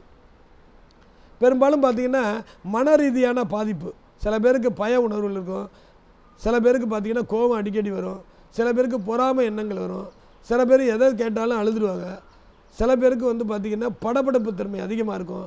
சில பேருக்கு கோபம் அதிகமாக வந்துடும் இது மாதிரி மன ரீதியான பாதிப்புகள் எப்படி ஏற்படுகிறதுன்னா இந்த எண்டோக்ரின் சிஸ்டத்தினுடைய குறைபாடுகள் தான் மன ரீதியான பாதிப்பு ஏற்படுது ஒரு பொருளை வேறு பொருளாக மாற்றக்கூடிய வேதிப்பொருட்களை சுரக்கிறதே இந்த நாளமில்லா சுரப்பி.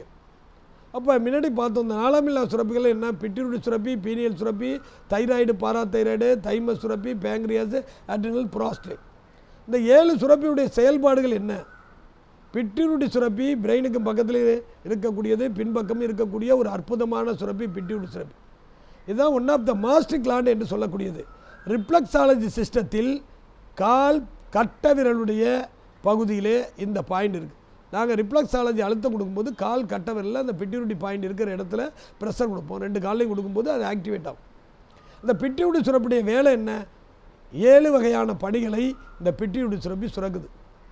ஒன்று மற்ற அதர் கிளாண்ட் மற்ற ஆறு சுரப்பிகள் இருக்குது அந்த ஆறு சுரப்பிகளையும் சிறப்பாக ஃபங்க்ஷன் பண்ண வைக்கக்கூடிய வேலையை செய்யக்கூடிய ஹார்மோனை ரிலீஸ் பண்ணுறது அந்த பிட்யூட்டரி சுரப்பி. மற்ற ஆறு சுரப்பியும் இந்த பிட்யூட்டரி சுரப்பி கண்ட்ரோலில் இருக்குது எந்த வேலையை பண்ணணும் எப்படி பண்ணணும் எவ்வளோ நேரம் பண்ணணும் அப்படின்னு நிர்ணயிக்கக்கூடிய ஆற்றல் இந்த பிட்யூட்டரி சுரப்பிக்கு உள்ளது. அடுத்தபடியாக பார்த்தீங்கன்னா குரோத் ஹார்மோன் உடல் வளர்ச்சிக்கு தேவையான சுரப்பி நிறை சுரக்கக்கூடிய சுரப்பி எதுனா அந்த பிட்யூட்டரி சுரப்பி தான். அப்போ ஒரு குழந்தை தாய் கர்ப்பப்பையில் இருக்கும்போது அந்த குழந்தையுடைய உடல் வளர்ச்சியை தூண்டக்கூடிய ஹார்மோனை இந்த பிட்யூட்டரி சுரப்பி சுரக்கவில்லை என்றால் பத்து மாதம் கழித்து பிறக்கக்கூடிய அந்த குழந்தை ஏதாவது உடல் குறைபாடு உள்ள குழந்தையாக பிறக்கிறது. அதனால தான் நிறைய குழந்தைகள் பார்த்தீங்கன்னா கண் பார்வை தெரியாமல் பிறக்குது காது கேட்காம பிறக்குது பேச்சு வராமல் பிறக்குது கால்கள் வளைவு நிலை ஏற்படுகிறது ஃபைனல் கார்டு வளைவு நிலை ஏற்படுகிறது. இப்படி உடல் குறைபாடுகள் வருவதற்கு காரணம் இந்த பிட்டிருட்டி சுரப்பியானது. ஒரு குழந்தை தாய் கெற்ப பையில் இருக்கும்போது அந்த குரோத் கார்மனை சரியாக சுரக்காத காரணத்தினால். இந்த பிட்யூடு சுரப்பி எப்போது இந்த ஹார்மோன்களை சுரக்காமல் தடை செய்கிறது என்றால் மனதில் எப்பையெல்லாம் பய உணர்வு ஏற்படுகிறதோ அப்பையெல்லாம் பிட்யூடு சுரப்பி டு நாட் ப்ராப்பர் ஃபங்க்ஷன் மனதில் ஏற்படக்கூடிய பய உணர்வு பிட்யூடு சுரப்பி சுரப்பி நிறை சுரக்காமல் தடை செய்கிறது. அப்போ ஒவ்வொருக்கும் பய உணர்வு இருக்கும். அப்போ குழந்தைகள் சில தாய்மார்களுக்கு பார்த்தீங்கன்னா குழந்தை பிறக்கும்போது நல்லா பிறக்குமா ஆண் குழந்தை பிறக்குமா பெண் குழந்தை பிறக்குமா ஆப்ரேஷன் இல்லாமல் பிறக்குமா? இப்படி மனதில் ஏற்படக்கூடிய பயத்தின் காரணமாக சில நேரங்களில் இந்த பிட்யூட்டி சுரப்பி இந்த சுரப்பி நீரை உரோத் ஹார்மோனை சுரக்காதத்தினால் அந்த குறைபாடு ஏற்படுகிறது. அதே போல் நம்ம ஹைட்டை வந்து இன்க்ரீஸ் பண்ணுறதுக்கு டுவெண்ட்டி ஒன் ஏஜ் வரைக்கும் இந்த பிட்யூட்டி சுரப்பி அந்த குரோத் ஹார்மோனை சுரக்கக்கூடிய அற்புதமான சுரப்பி. நாங்கள் என்ன பண்ணுவோம்னா அந்த பிட்யூட்டி பாயிண்டில் அழுத்தம் கொடுப்பது மூலம் ஓரளவுக்கு ஹைட்டை இன்க்ரீஸ் பண்ணுறதுக்கும் நமக்கு உதவும். இந்த கால் பாத அழுத்த முறை சிகிச்சை. அடுத்தது பார்த்திங்க அப்படின்னா ஒரு மனிதனுக்கு இயற்கையாக இருக்கக்கூடிய அறிவு ஆற்றல் திறமை புரிந்து கொள்ளக்கூடிய சக்தி நிர்வாக திறமை இவையெல்லாம் எண்ணங்களை செயல்படுத்தக்கூடிய ஆற்றல் மிக்க அந்த சுரப்பியையும் இந்த பிட்யூட்டி சுரப்பி தான் அந்த என்சைம் ஹார்மோனையும் சுரக்குது. அதை சரியாக சுரந்துச்சுன்னா ஒருத்தர் எந்த தொழிலில் எந்த துறையில் அவர் எண்ணங்கள் செல்கிறதோ அதில் உச்சநிலை அடைவதற்கு இந்த ஹார்மோன் வந்து அவருக்கு பயன்படும். அடுத்தது பார்த்திங்கன்னா இந்த தைராய்டு பாராதைராய்டு என்று சொல்லக்கூடிய அந்த சுரப்பியை தூண்டக்கூடிய ஹார்மோனையும் இந்த பிட்டியுடைய சுரப்பி தான் சுரக்குது. அதே போல் இன்றைக்கி பெரும்பாலும் அதிகமானவர்களை பாதிப்புக்குள்ளாக்கக்கூடிய அந்த பேங்க்ரியாஸ் என்று சொல்லக்கூடிய இந்த கணையத்தை ஸ்டிமுலேட் பண்ணக்கூடிய ஹார்மோனையும் இந்த பிட்டியுடைய சுரப்பி தான் சுரக்குது. அதே போல் யூரினரி கிட்னி எப்படி ஃபங்க்ஷன் ஆகணும்? யூரின் எவ்வளோ அவுட் போகணும்? உள்ளே எவ்வளோ இருக்கணும்? அதை எப்படி ஸ்டிமுலேட் பண்ணணும்? அதுக்குடைய ஹார்மோனையும் அந்த பிட்யூட்டி தான் சுரக்குது அதே போல் நம்ம உடலில் ஏற்படக்கூடிய வலிகளை இயற்கையாக அந்த வலிகளை குறைக்கக்கூடிய வலிகளை குணப்படுத்தக்கூடிய என்டார்பின் அப்படிங்கிற ஒரு ஹார்மோனையும் அந்த பிட்டிட்டு தான் சுர சுரக்குது ஆக இந்த ஏழு வகையான சுரப்பி நீர்களை சுரந்து நம் உடலை பல்வேறு வகையில் ஆரோக்கியத்தை பாதுகாக்கக்கூடிய வேலையை செய்ய தான் பிட்யூட்டி சுரப்பி. இது எப்போ பாதிக்கப்படுதுன்னா எப்பப்போ நமக்கு வந்து மன ரீதியாக பய உணர்வுகள் வருதோ அப்போ எல்லாம் அந்த சுரப்பி வந்து சுரக்காது. எனவே தான் ஒருவர் மன அழுத்தமும் மனதை தியான அடிப்படையெல்லாம் செய்து நல்ல நிலையில் மனதை வைத்துக்கொள்ள வேண்டும். அப்போது தான் ஆழமில்லா சுரப்பிகள் சிறப்பாக செயல்பட்டு நம் ஆரோக்கியத்தை பாதுகாப்பதோடு மட்டுமல்லாமல் நமக்கு ஏற்பட்ட நோய்களும் விரைவாக குணமடைய உதவும்.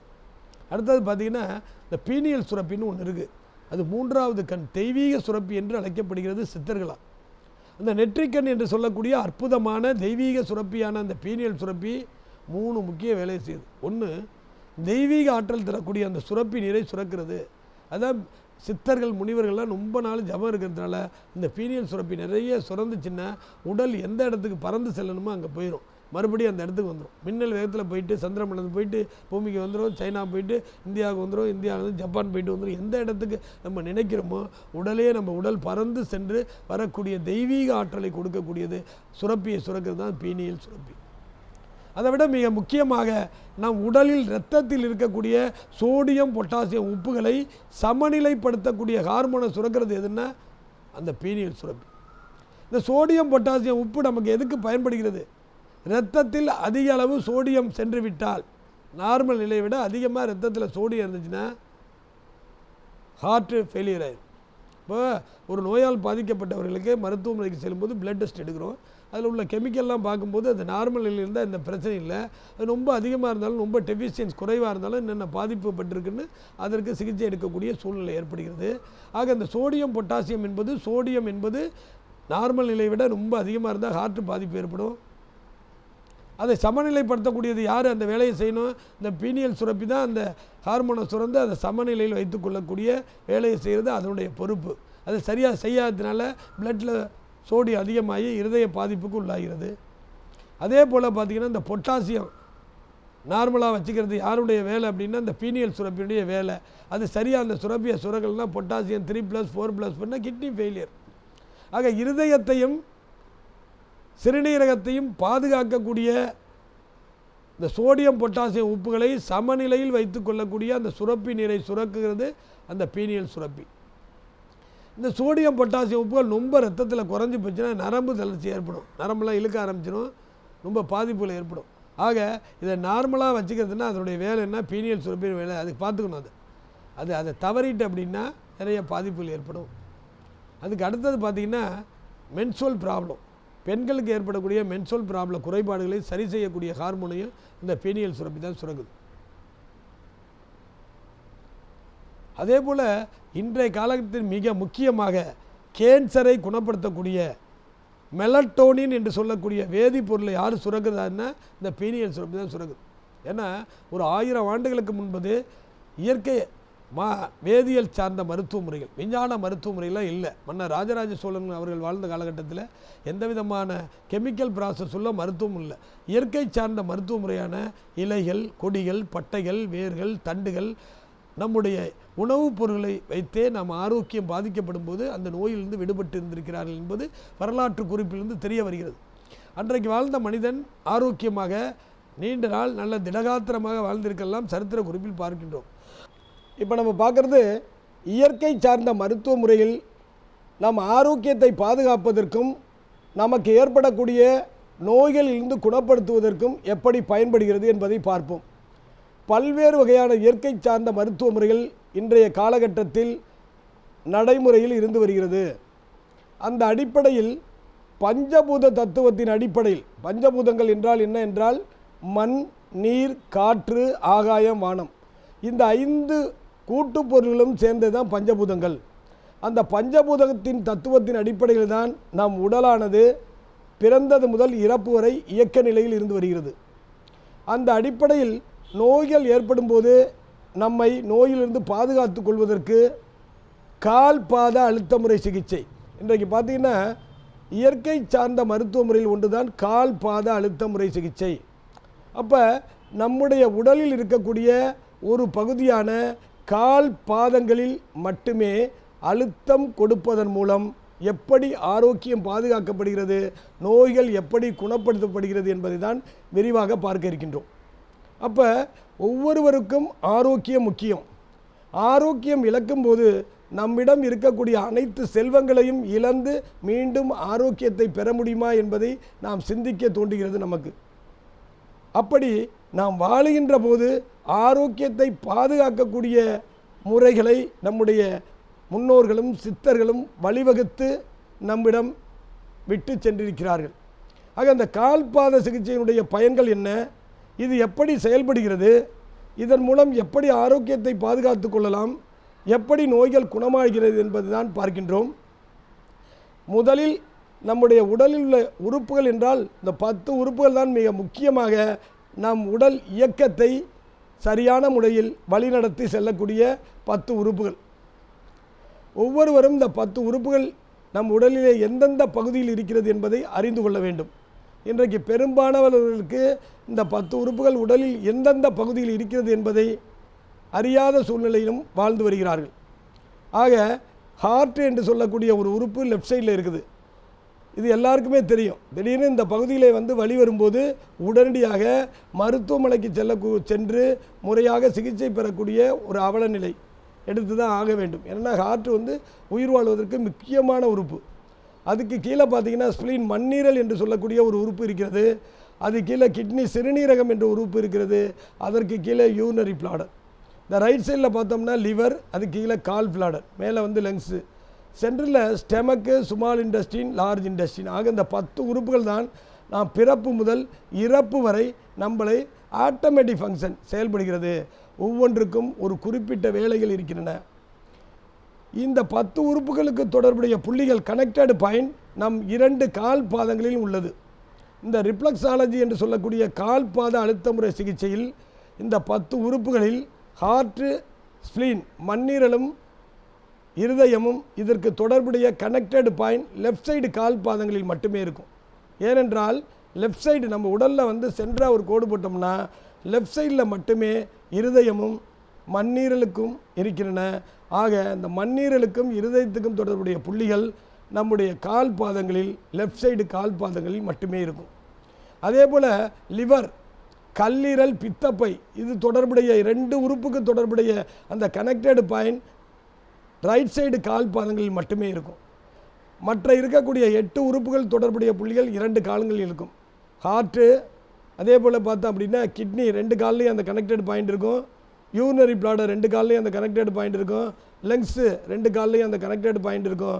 ஸ்டெமக்கு ரெண்டு கால்லையும் இருக்கும். லார்ஜ் இண்டஸ்ட்ரின் ரெண்டு கால்லையும் இருக்கும். ஸ்மால் இண்டஸ்ட்ரி ரெண்டு கால்லையும் அந்த கனெக்டட் பாயிண்ட் இருக்கும். ஆக அந்த பத்து உறுப்புக்கு தொடர்புடைய புள்ளிகள் இரண்டு கால்களிலுமே இயற்கையாக அந்த இணைவு நரம்புகள் தொடர்புடையாக இருந்து வருகின்றன பிறப்பு முதல் இறப்பு வரை. ஆக இதை அடிப்படையாக வைத்து எந்தெந்த அந்தந்த உறுப்புகள் எந்தெந்த பகுதியில் கால் பாதங்களில் இருக்கின்றன அவற்றை எப்படி அழுத்தம் கொடுக்க வேண்டும் எவ்வளவு நேரம் அழுத்தம் கொடுக்க வேண்டும் அந்த உறுப்புகளை எப்படி ஸ்டிமுலேட் பண்ணுறது இதை தெரிஞ்சுக்கிறது தான் இந்த ரிப்ளக்ஸாலஜி முறையுடைய முக்கியமான கான்செப்ட் அதே போல் பார்த்திங்கன்னா எண்டோக்ரின் சிஸ்டம் என்று ஒரு சிஸ்டம் நம் உடலிலே இயங்கி வருகிறது. அதுதான் தமிழில் சொல்கிறோம் அப்படின்னா நாளமில்லா சுரப்பிகள் என்று சொல்லுவார் அந்த நாளமில்லா சுரப்பிகள் ஏழு சுரப்பிகள் நம் உடலிலே செயல்படுகின்றன. அதில் பிட்டிருட்டி சுரப்பி பீனியல் சுரப்பி இந்த ரெண்டு சுரப்பியும் நம்முடைய தலையில் பிரெயின் மூளைக்கும் முன்பக்கமும் பின்பக்கமும் அந்த சுரப்பியினுடைய செயல்பாடுகள் இருக்கின்றன. அப்போ த்ரோட்டில் பார்த்தீங்கன்னா தைராய்டு பாரா தைராய்டு என்று சொல்லக்கூடிய ஒரு சுரப்பி இருக்கிறது. இந்த தைராய்டு சுரப்பி உட்பக்கமாகவும் பாரா தைராய்டு சுரப்பி வெளிப்பக்கமாகவும் அதை பாதுகாக்கக்கூடிய தன்மையிலே இருக்கிறது. அதே போல் மிடில் ஆஃப் த செஸ்ட் நெஞ்சினுடைய நடுப்பகுதியிலே தைம சுரப்பி என்ற ஒரு சுரப்பி இருக்கிறது. இன்றைக்கு பெரும்பாலானவர்களை துன்பத்துக்கு உள்ளாக்கக்கூடிய சக்கரை நோய்க்கு அடிப்படையாக விளங்கக்கூடிய கணையம் என்று சொல்லக்கூடிய பேங்க்ரியாஸ் என்று சொல்லக்கூடிய சுரப்பி ஹார்ட்டுக்கு கீழே அதுக்கு மேலே வயிறுக்கு பகுதி மேல் பகுதியுமாக அமைந்துள்ளது. அதே போலனா ரெண்டு சிறுநீரகம் நம்ம உடலில் இருக்குது அந்த சிறுநீரகத்தின் உச்சியில் இருக்கக்கூடிய சுரப்பியானது அட்ரினல் கிளான் அதே போல் ஆண்களுக்கு மட்டுமே இருக்கக்கூடிய புராஸ்டேட் சுரப்பி நியர்பை யூனரி பிளாடர் ஆக இந்த ஏழு சுரப்பிகளும் பத்து உறுப்புகளும் தான் நாம் பிறந்தது முதல் இறப்பு வரை நம்மளை இயக்கி கொண்டு வருகிறது.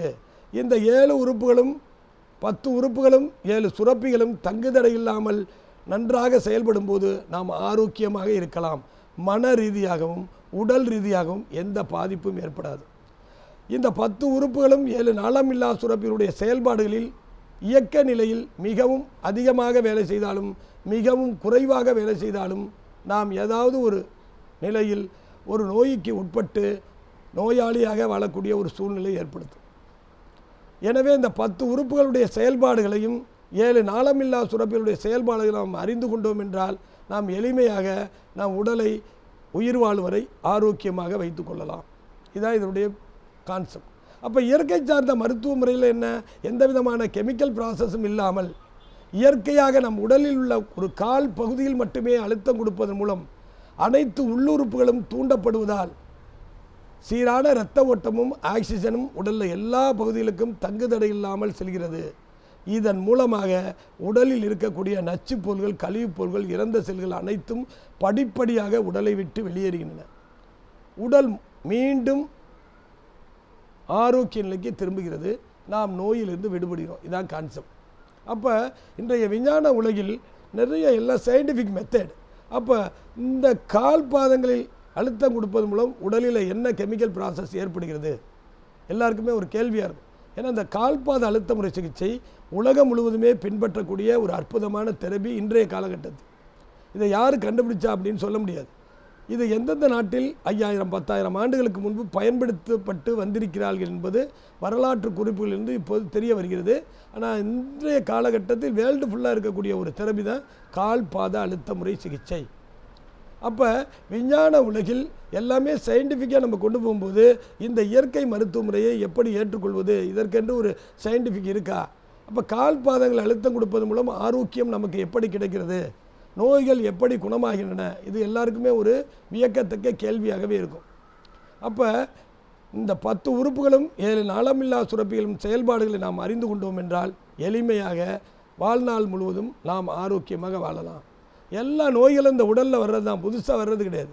இந்த பத்து உறுப்புகளையும் ஏழு நாளமில்லா சுரப்பிகளையும் பாதிக்கப்படுவது தான் அந்தந்த நோய்கள். நோய் வருவதற்கு அடிப்படை காரணம் என்ன? ஒரு டிசீஸ் வருது அதுக்கு என்ன காரணம்? அடிப்படை காரணம் என்ன? நச்சுப் பொருள்கள் கழிவுப் பொருள்கள் இறந்த செல்கள் உடலில் தேக்க நிலை ஏற்படும் போது எந்த உறுப்பில் அவை டெபாசிட் ஆகி சேமிக்கப்படுகிறதோ அந்த உறுப்பு தொடர்பான நோய்கள் ஏற்படும். இதான் வந்து கான்செப்ட் இப்போ துரவுட்டில் போய் நச்சுப் பொருள்கள் கழிவுப் பொருள்கள் தேக்க நிலை தான் துரவுட் இன்ஃபெக்ஷன் லெங்ஸில் நச்சுப் பொருள்கள் கழிவுப் பொருள்கள் தேக்க நிலை இருந்தால் லெங்ஸ் இன்ஃபெக்ஷன் கிட்னியில் நச்சுப் பொருள்கள் கழிவுப் பொருள்கள் தேக்க இருந்தால் கிட்னி இன்ஃபெக்ஷன் யூனரி பிளாடரில் நச்சுப் பொருள்கள் கழிவுப் பொருள்கள் தேக்க இருந்தால் யூனரி பிளாடர் இன்ஃபெக்ஷன் ஸ்டெமக்கில் நச்சுப் பொருள்கள் கழிவுப் தேக்க இருந்தால் ஸ்டெமக் இன்ஃபெக்ஷன். கால் பிளாடரில் நச்சுப் பொருள்கள் கழிவுப் பொருள்கள் தேக்க இருந்தால் கால் பிளாடர் இன்ஃபெக்ஷன். அதே போல் பேங்கரியாஸ் என்று சொல்லக்கூடிய கணையத்தில் நச்சுப் பொருள்கள் கழிவுப் பொருள் தேக்க நிலை இருந்தால் பேங்கரியாஸ் இன்ஃபெக்ஷன். பிரெயினுக்கு அருகாமையில் உள்ள இரத்த குழாய்களில் நச்சுப் பொருள்கள் கழிவுப் பொருள் தேக்க இருந்தால் அந்த பகுதியிலுடைய பிரெயின் சம்மந்தப்பட்ட ஒரு இன்ஃபெக்ஷன். இந்த நச்சுப்பொருள்கள் கழிவுப்பொருள்கள் எந்த பகுதியில் உடலில் தேக்க நிலை அடைகிறதோ அந்த பகுதி டேமேஜ் ஆகி அது தொடர்பான நோய்கள் ஏற்பட்டு நாம் துன்பத்துக்கு உள்ளாகின்றோம். இதுதான். அப்போ நச்சுப்பொருள்கள் கழிவுப்பொருள்கள் கழிவுப் முழுமையாக உடலை விட்டு வெளியேறப்படுவதற்கு எடுக்கப்படுவதுதான் சிகிச்சை முறை. அந்த சிகிச்சை முறை கூட தான் மாடர்ன் மெடிசன் நம்ம இயற்கை சார்ந்த மருத்துவரை என்ன செய்கிறோம்னா கால் பாதங்களில் எந்தெந்த புள்ளிகளுக்கு தொடர்புடைய அந்த கரஸ்பாண்டன் பாயிண்டில் அழுத்தம் கொடுப்பதன் மூலம் நரம்பு மண்டலம் தூண்டப்படுகிறது. கால் பாதங்களில் இருக்கக்கூடிய உள்ளுறுப்புகளுக்கு தொடர்புடைய புள்ளிகளில் முறையாக அழுத்தம் கொடுப்பதன் மூலம் நம் உடலில் இருக்கக்கூடிய நரம்பு மண்டலம் தூண்டப்படுகிறது. சித்தர்களுடைய தத்துவத்தின் அடிப்படையிலே நம் உடலில் பார்த்தீங்கன்னா seventy two nerves connected human body எழுபத்தி ரெண்டாயிரம் நரம்பு இணைப்புகள் இருக்கக்கூடிய நமது உடல். ஒரே நேரத்தில் எட்டு வகையான பணிகளை செய்யக்கூடியது நம்மளுடைய உடல். ஏன்னா ஒருத்தர் வந்து சாப்பிட்டுட்டு இருப்பார். அதே நேரத்தில் கண் ஒரு செயலை பார்த்து கொண்டிருக்கும். காது ஒரு செயலை கேட்டு கொண்டிருக்கிறதும் எண்ணங்கள். அதாவது நேற்று என்ன நடந்தது? ஒரு வருடத்துக்கு முன்பு என்ன வந்தது என்று சிந்திக்கக்கூடிய மனநிலை நம்மிடம் இருக்கும். அதே நேரத்தில் நம்ம உடலில் ஏதாவது எறும்போ கொசுவோ வந்து உட்காந்துட்டுனா தன்னை அறியாமலே ஓங்கி அடிச்சிருவோம்.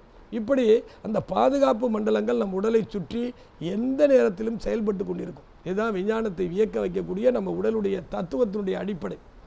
அந்த அடிப்படையில் கால் பாதங்களில் அழுத்தம் கொடுக்கும்போது நரம்பு மண்டலம் தூண்டப்படுகிறது. அதே போல் தசை மண்டலம் தூண்டப்படுகிறது மஸ்குலர் டிசார்டர் தூண்டப்படுகிறது. அதற்கு அடுத்தபடியாக பிளட் வெசல்ஸ் இரத்த குழாய் மண்டலம் தூண்டப்படுகிறது. தசை மண்டலம் தூண்டப்படுகிறது இரத்த குழாய் மண்டலம் தூண்டப்படி நரம்பு மண்டலம் தூண்டப்படுகிறது.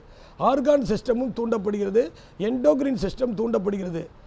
அதே போல் இந்த அனைத்து உறுப்புகளும் கால் பாதங்களில் அழுத்தம் கொடுப்பது மூலம் தூண்டப்படுவதால் இரத்த குழாய் விரிவடைந்து சீரான இரத்த ஓட்டமும் ஆக்சிஜனும் உடலில் எல்லா பகுதிகளுக்கும் சென்றடைவதற்கு இந்த கால் பாத அழுத்த முறை சிகிச்சை நூறு சதவீதம் நமக்கு உதவுது. அப்போ எல்லா பகுதிகளுக்கும் ரத்தம் சீராக செல்வதன் மூலம் எந்தெந்த பகுதியில் உடலில் நச்சுப்பொருள்கள் கழிவுப்பொருள்கள் பொருள்கள் தேக்க நிலை இருக்கிறதோ அவைகள் படிப்படியாக உடலை விட்டு வெளியேறுகின்றன. அப்போ நச்சுப் பொருள்கள் கழிவுப் பொருள்கள் உடலை விட்டு வெளியேற வெளியேற நாம் உடல் மீண்டும் ஆரோக்கிய நிலைக்கு திரும்புகிறது. நாம் நோயிலிருந்து விடுபடுகிறோம் இதான் இதனுடைய கான்செப்ட் அப்போ எல்லாவித நோய்களுக்கும் இயற்கையாக கால் பாத அழுத்த முறை சிகிச்சையினால் நம்ம வந்து குணப்படுத்த முடியும். அப்போ கால் பாத அழுத்த முறை எப்படி செயல்படுகிறது என்பதற்கு தான் விளக்கத்தை இப்போ வந்து கொடுத்தோம். ஆனால் நம்ம உடலில் பார்த்திங்கன்னா காய்கறிகள். நாம் சாப்பிடக்கூடிய எல்லா உணவுப் பொருளும் இட்லி தோசை வடை பொங்கல் பூரி புரோட்டா நான் வெஜிடபிள் வெஜிடேரியன் காய்கறிகள் எல்லாம் சாப்பிட்றோம். இதில் என்ன இருக்குது இதில் இருக்கக்கூடிய carbohydrate vitamin protein calcium potassium sodium இதெல்லாம் நம் இயற்கையான உணவுப் பொருள்களையே நமக்கு கிடைக்கின்றன. அப்போ கால் பாதங்கள் மட்டும் அழுத்தம் கொடுப்பதன் மூலம் எப்படி கெமிக்கல் ப்ராசஸ் இல்லாமல் அந்த நோய்கள் குணப்படுத்தப்படுகிறது அப்படிங்கிறது தான் எல்லாருக்குமே ஒரு கேள்வி. அப்போ அந்த பத்து உறுப்புகளுடைய வேலை என்ன? ஏழு நாளமில்லா சுரப்பிகள் எப்படி உடலிலே செயல்படுகிறது? இதை தெரிந்து கொண்டால் இந்த மருத்துவ முறையை எளிமையாக நம்ம கடைபிடிக்கலாம். எங்களுடைய சென்று இருபத்தஞ்சு ஆண்டுகளாக கால் பாத அழுத்த முறை பயிற்சியும் சிகிச்சையும் அளித்து வர்றோம். அந்த அடிப்படையில் நோய்கள் இல்லாதவர்களுக்கும் வாரம் ஒரு முறை இந்த கால் பாத அழுத்த முறை சிகிச்சை கொடுப்பதன் மூலம் உள்ளுறுப்புகள் தூண்டப்படுவதால் உடலில் நச்சுப்பொருள்கள் பொருள்கள் தேக்கர் இல்லாமல் வெளியேறுவதற்கு உதவும். இன்றைய காலகட்டத்தில் பார்த்தோம்னா இளைஞர்களுக்கு பெரும்பாலான பாதிப்புகள் மெமரி பவர் ரொம்ப லாஸ் ஆகுது. ஞாபக சக்தி ரொம்ப குறைவு ஏற்படுகிறது. அதே போல் பார்த்திங்கன்னா நிறைய இந்த டெக்னாலஜி ஐடி நிறுவனங்கள் பணிபுரியக்கூடியவர்கள் நண்பர்களுக்கெல்லாம் பார்த்திங்கன்னா ஒரே இடத்தில் இருந்து பல மணி நேரம் அந்த சிஸ்டத்தை பார்க்கறதுனால கழுத்து பிடிப்பு கழுத்து வலி கழுத்து திருப்ப முடியாமை கழுத்து எலும்பு தேய்மானம் இப்படிப்பட்ட பல பாதிப்புகள் ஏற்பட செய்கிறது. அதுபோல் spinal cord L four L five S one இந்த ஸ்பைனல் கார்டில் ப்ராப்ளம் ஏற்படும் லோவர் பேக் பெயின் அதே போல அந்த நரம்புகள் அழுத்தப்படுவதால் நமக்கு வந்து சயாட்டிக்கா என்று சொல்லக்கூடிய நரம்பு வலி இப்படி ஸ்பைனல் கார்டு ப்ராப்ளம் அந்த ஸ்பைனல் கார்டே வளைஞ்சிருது நிறைய இளைஞர்களுக்கு. இப்படி பல்வேறு வகையான துன்பங்களும் ஏற்படத்தான் செய்கிறது. அதுபோல் அடுத்த கேட்டகரி பண்ணால் உணவு முறை. இந்த உணவு முறையில் நிறைய மாற்றங்கள் இருக்குது அந்த கெமிக்கல் ப்ராசஸ் இருக்கிறதுனால அந்த உணவுகளை தான் நான் உட்கொள்ளக்கூடிய கட்டாய நிலையில் இருப்பதால் gas double acidity stomach problem இதுவும் வந்து அதிகமாக இருக்குது நிறையா இன்றைய காலகட்டத்தில் கிட்னி ப்ராப்ளம். சிறுநீரகத்துடைய பாதிப்பு அதிகமாக சின்ன குழந்தையிலிருந்து பெரியவர்கள சிறுநீரக சம்பந்தப்பட்ட நோய்களால் பாதிக்கப்படுகிறாங்க. அதே மாதிரி இருதயம் இந்த பிளட் வெசல்ஸில் அடைப்புகள் ஏற்பட்டு இருதயத்தினுடைய வீக் ஆகிறதுனால பால்பிட்டேஷன் இருதய படபடப்பு ரொம்ப நேரம் நடந்தால் மூச்சு வாங்குதல் இப்படிப்பட்ட பல்வேறு பாதிப்புகளும் ஏற்படத்தான் செய்கிறது. அதுபோல் கண் குறைபாடு சம்பந்தப்பட்ட நோய்களும் அதிகமாக வந்து அட்டாக் ஆகுது. அதுக்கப்புறம் நிறைய பேருக்கு பார்த்திங்கன்னா தூக்கமின்மை அப்படிங்கிற ஒரு பாதிப்பு வந்து நிறைய கஷ்டப்படுறாங்க. நிறைய அது அடுத்தது அது அடுத்த கேட்டகரி பண்ணால் மன அழுத்தம். இந்த மன அழுத்தம் எப்படி ஏற்படுகிறது? மன அழுத்தத்தினால் உடல் சார்ந்த நோய்கள் ஏற்படுகின்றன. அப்போ மன அழுத்தம் ஒருவருக்கு ஏற்படும் போது நிறைய பேருக்கு முடி கொட்டுகிறது நிறைய பேருக்கு தூக்கமின்மை நிறைய பேருக்கு ரத்தத்தின் சர்க்கரை அளவு அதிகரிக்கிறது அதே மாதிரி ப்ரெஷர் இருந்துச்சுன்னா ரத்தத்தில் ப்ரெஷர் அளவு அதிகரிக்கிறது. அதே போல் மென்சோல் ப்ராப்ளம் உடல் பருமன் ஹார்மோனல் இன்பேலன்ஸ் இப்படி பல்வேறு நோய்களும் எளிமையாக இன்றைய காலகட்டத்தில் நம்முடைய வாழ்க்கை முறையில் மாற்றத்தின் காரணமாக நிறைய ஏற்படுது. ஆக இப்படிப்பட்ட சூழ்நிலைக்கு இயற்கை சார்ந்த மருத்துவ முறையான கால் பாத சிகிச்சை நூறு சதவீதம் நம்மை ஆரோக்கியத்திலிருந்து பாதுகாக்க உதவுகிறது. அதேபோல் நோய் ஏற்பட்டாலும் இந்த கால் பாத சிகிச்சையை பின்பற்றுவதன் மூலம் நூறு சதவீதம் முழுமையாக அந்த நோயிலிருந்து குணப்படுத்தவும் இது உதவுது. ஆக இது எப்படி செயல்படுகிறது அப்படிங்கிறது தான் நிறைய பேருக்கு ஒரு கேள்விக்குறியாக இருக்கும். சுருக்கமாக பார்த்தீங்கன்னா ஹார்ட்டு ஹார்ட்டுடைய வேலை என்ன? சர்க்குலேட்டரி சிஸ்டம் ஒரு குழந்தை பிறந்ததுலேருந்து இறப்பு வரை காற்று வந்து ஹார்ட்டு ஃபங்க்ஷன் ஆகிட்டே இருக்கும். டக் டக் டக் டக்.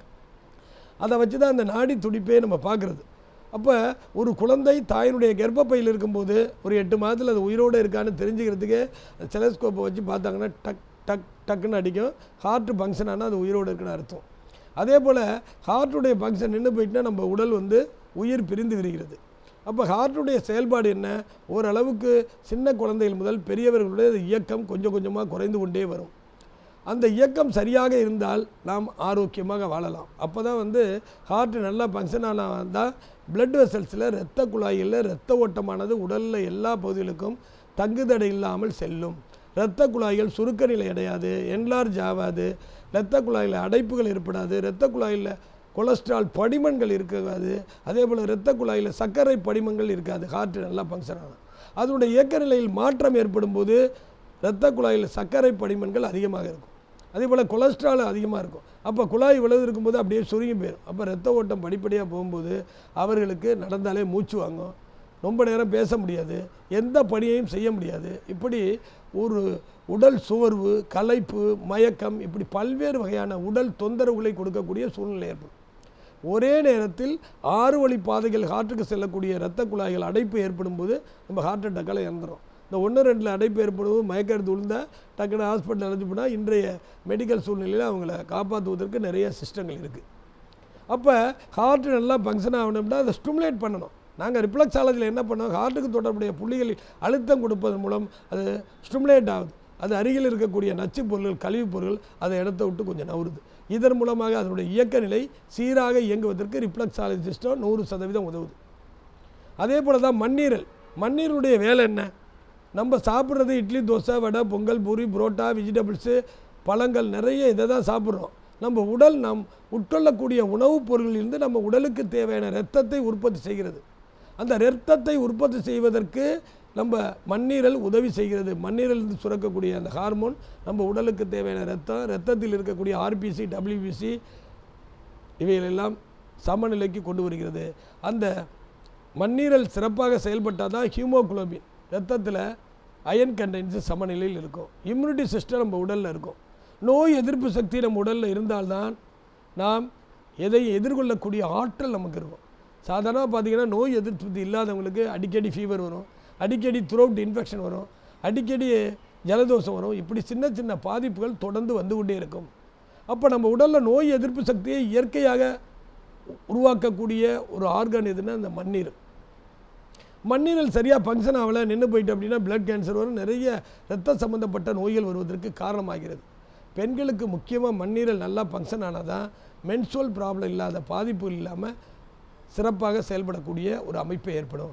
ஆக இந்த ஹார்ட்டுடைய பாயிண்ட்டும் மண்ணீரல் தொடர்புடைய புள்ளியும் கால் பாதங்கள் லெஃப்ட் சைடில் இருக்கிறதுனால நாங்கள் கால் பாத அழுத்த முறை சிகிச்சை கொடுக்கும்போது இந்த புள்ளிகளில் அழுத்தம் கொடுத்து அதை ஸ்டிமுலேட் பண்ணுவோம். அதே போல் பார்த்தீங்கன்னா சிறுநீரகம் ரெண்டு சிறுநீரகம் நமக்கு இருக்குது ஒரு கிட்னி வந்து ஃபெயிலியர் ஆனாலும் ஒன்று வந்து நம் உயிரை பாதுகாக்கும். அப்போ சிறுநீரகத்துடைய ஃபங்க்ஷன் என்ன? இரத்தத்தில் இருக்கக்கூடிய அதிகப்படியான சோடியம் பொட்டாசியம் கழிவுப் பொருள்கள் நச்சுப் பொருள்கள் இறந்த செல்கள் இவையெல்லாம் ஃபில்ட்ரு பண்ணி கழிவுகளை வெளியேற்றிவிட்டு தூய்மையான இரத்தத்தை நம்ம உடலுக்கு கொடுக்குது. ஆனால் இன்றைய காலகட்டத்தில் நாம் சாப்பிடுகின்ற உணவுப் பொருள்கள் அதிகமான நச்சுப் பொருள்கள் கழிவுப் பொருள்கள் ரசாயன பொருள்கள் அதிகமாக இருக்குது குடிக்கிற தண்ணீரும் தூய்மையாக இல்லை சுவாசிக்கிற காற்றும் தூய்மையாக இல்லை. அப்போ உட்கொள்கின்ற உணவு குடிக்கின்ற தண்ணீர் சுவாசிக்கின்ற காற்று மூலமாக உடலுக்குள்ளே செல்லக்கூடிய நச்சுப் பொருள்கள் கழிவுப் பொருள்கள் அதிகமாக இரத்த ஓட்டத்தின் மூலம் சிறுநீரகத்துக்கு சென்றடைகிறது. அதனால தான் நிறைய பேருக்கு இந்த கிட்னி ஃபெயிலியர் நிறைய ஏற்படுது. சிறுநீரகத்தில் கிரியாட்டி லெவல் அதிகமாகிடுது சிறுநீரகம் சுருங்கி போயிடுது என்லார்ஜ் ஆகுது. அது ஃபங்க்ஷன் வந்து do not proper function function தடைபடுகிறது. அந்த மாதிரி நேரத்தில் தான் டயாலிசிஸ்ங்கிற ஒரு ட்ரீட்மெண்ட்டை கொடுத்து உயிரை பாதுகாக்கிறாங்க அதுக்கு முன்பு நம்ம இந்த ரிஃப்ளெக்ஸாலஜிலாம் கொடுத்து அதை வந்து ஆக்டிவேட் பண்ணுறதுனால அது வந்து சீரான கழிவுப் பொருட்களை எளிமையாக வெளியேற்றுவதற்கு நமக்கு உதவி செய்யும். அடுத்தது பார்த்திங்கன்னா அந்த இந்த யூனரி பிளாடர் வந்து முக்கியமான ஒரு பை பழுவுன் மாதிரி. அந்த சீ நீர் வந்து கழிவுப் பொருள் சேர்ந்தோன்னே அது யூரின் போகக்கூடிய உணர்வுகளை கொடுக்கும். அது கழிவுப் பொருள் போனோன்னு சுருங்கிடும். இது பருத்துலேருந்து இறப்பு வரைக்கும் ஆட்டோமேட்டிக் ஃபங்க்ஷன் இன்றைய காலகட்டத்தில் அவசர ஆபத்தான யூரின் போயிட்டு ஒன்று ரெண்டு சொட்டு அதில் தேங்கி போயிட்டு யூரினரி பிளாடர்னா அது நாளடையில் கிருமிகள் நச்சுப் பொருள்கள் சேர்ந்து நிறைய பேருக்கு பார்த்திங்கன்னா அந்த urinary bladder cancer urinary bladder infection அரிப்பு இப்படி பல்வேறு தொற்று நோய்கள் ஏற்பட காரணமாகிறது. இந்த kidney point urinary bladder point நம்ம இரண்டு காலில் இருக்குது நம்ம ரிப்ளக்ஸாலஜி சிஸ்டத்தில் அந்த கால் பாதங்களை அழுத்தம் கொடுப்பது மூலம் அதை ஸ்டிமுலேட் ஆகிறது மூலம் இயற்கையாக வந்து அதில் இருக்கக்கூடிய நச்சு பொருள் கழிவுப் பொருள் வெளியேறுவதற்கு இந்த ரிப்ளக்ஸாலஜி கால் பாத அழுத்த முறை சிகிச்சை இன்றைய காலகட்டத்தில் அற்புதமாக பயன்படுது. அடுத்தது பார்த்திங்கன்னா லிவர் நம்ம உடலில் இருக்கக்கூடிய பெரிய உறுப்பு எதுனா லிவர் தான். ஃபைவ் ஹண்ட்ரட் ஹார்மோனை ரிலீஸ் பண்ணக்கூடிய ஒரு ஆர்கான் எது அப்படின்னா லிவர் தான். லிவர் ப்ராப்பராக ஃபங்க்ஷன் ஆனாலே ரத்தத்தின் சர்க்கரை அளவு கண்ட்ரோல் ஆகும். கேன்சர் கிருமிகள் வெளியேற்றப்படும். தைராய்டு பாராதைடு பல்வேறு பிரச்சனைகளை வந்து அது வந்து ஆட்டோமேட்டிக்காக வந்து நம்ம உடலை சமநிலைப்படுத்தி ஆரோக்கிய வாழ்வுக்கு வழிகாட்டக்கூடியது தான் இந்த லிவருடைய முக்கிய வேலை. இன்றைய காலகட்டம் நிறைய கெமிக்கல் உணவுகள் மாத்திரைகள் அதிகமாக எடுக்கும்போது லிவர் என்ன ஆகுது அப்படின்னா டேமேஜ் ஆகிடுது லிவர் டேமேஜ் ஆக ஆக என்ன ஆகுது பிரெயின் செயலிழப்பு ஏற்படுகிறது. லிவர் நல்லா ஃபங்க்ஷன் ஆகிற வரைக்கும் தான் பிரெயின் ஃபங்க்ஷன் ஆகும். லிவர் சரியாக ஃபங்க்ஷன் ஆகலைன்னா பிரெயின் கோமா ஸ்டேஜ் ஆகிடும் நிறைய பார்த்துப்பீங்க லிவர் ஆப்ரேஷன் பண்ணும்போது லிவரில் எதுவும் பிரச்சனை வந்து கோமா ஸ்டேஜ் ஆகிடுது உயிர் மட்டும்தான் இருக்கும் உடல் ஃபங்க்ஷன் ஆகாது.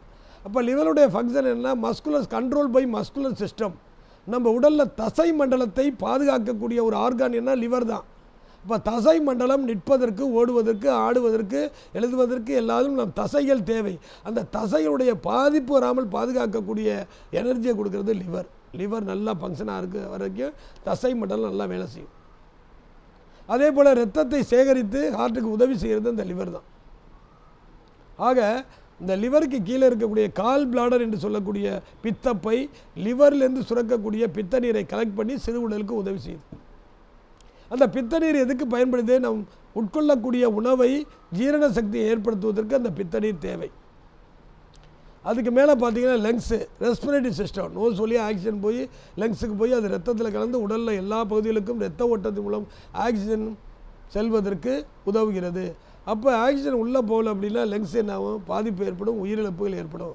அதில் நிறைய நச்சுப் பொருள்கள் கழிவுப் பொருட்கள் போகும்போது ஆஸ்மா வீசிங் ப்ராப்ளம் மூச்சுத்திறல் போன்ற பல்வேறு விதமான பாதிப்புகள் ஏற்படுகின்றன. அப்போ ஒவ்வொரு உறுப்புகளும் ஒவ்வொரு வேலையை இறப் பிறப்பு முதல் இறப்பு வரை தொடர்ந்து செய்து கொண்டு வருகிறது. அதில் ஏதாவது தேக்க நிலை ஏற்படும் போது நம் உடலில் பாதிப்பு ஏற்படுகிறது. இதுதான் இதனுடைய கான்செப்ட் அப்போ கால் பாத சிகிச்சையின் மூலமாக கால் பாதங்களில் இருக்கக்கூடிய உள்ளுறுப்புகளுக்கு தொடர்புடைய புள்ளிகளில் இயற்கையாக அழுத்தம் கொடுப்பதன் மூலம் அந்த உறுப்புகள் தூண்டப்படுகின்றன. அதன் மூலமாக உடலில் சீரான இரத்த ஓட்டம் ஏற்படுகிறது. உடலில் தேக்க நிலையில் இருக்கக்கூடிய நச்சுப் பொருள்கள் கிருமிகள் இறந்த செல்கள் படிப்படியாக உடலை விட்டு வெளியேறுகின்றன. உடல் மீண்டும் ஆரோக்கிய நிலைக்கு திரும்புகிறது. இதான் ரிப்ளக்ஸாலஜி கால் பாத சிகிச்சையுடைய முக்கியமான கான்செப்ட் அடுத்தது பார்த்திங்கன்னா மேலே இருக்கிறது வயிறு அதுக்கப்புறம் சிறுகுடல் அடுத்தது சுமால் இண்டஸ்ட்ரின் பெருங்குடல்.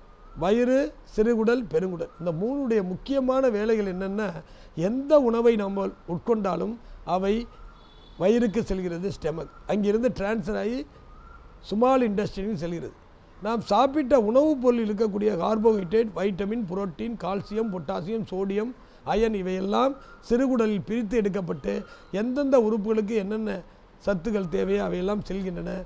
மிஞ்சி இருக்கக்கூடிய கழிவுப் பொருட்கள் பெருங்குடல் வழியாக மோசனாக வெளியேறுகிறது.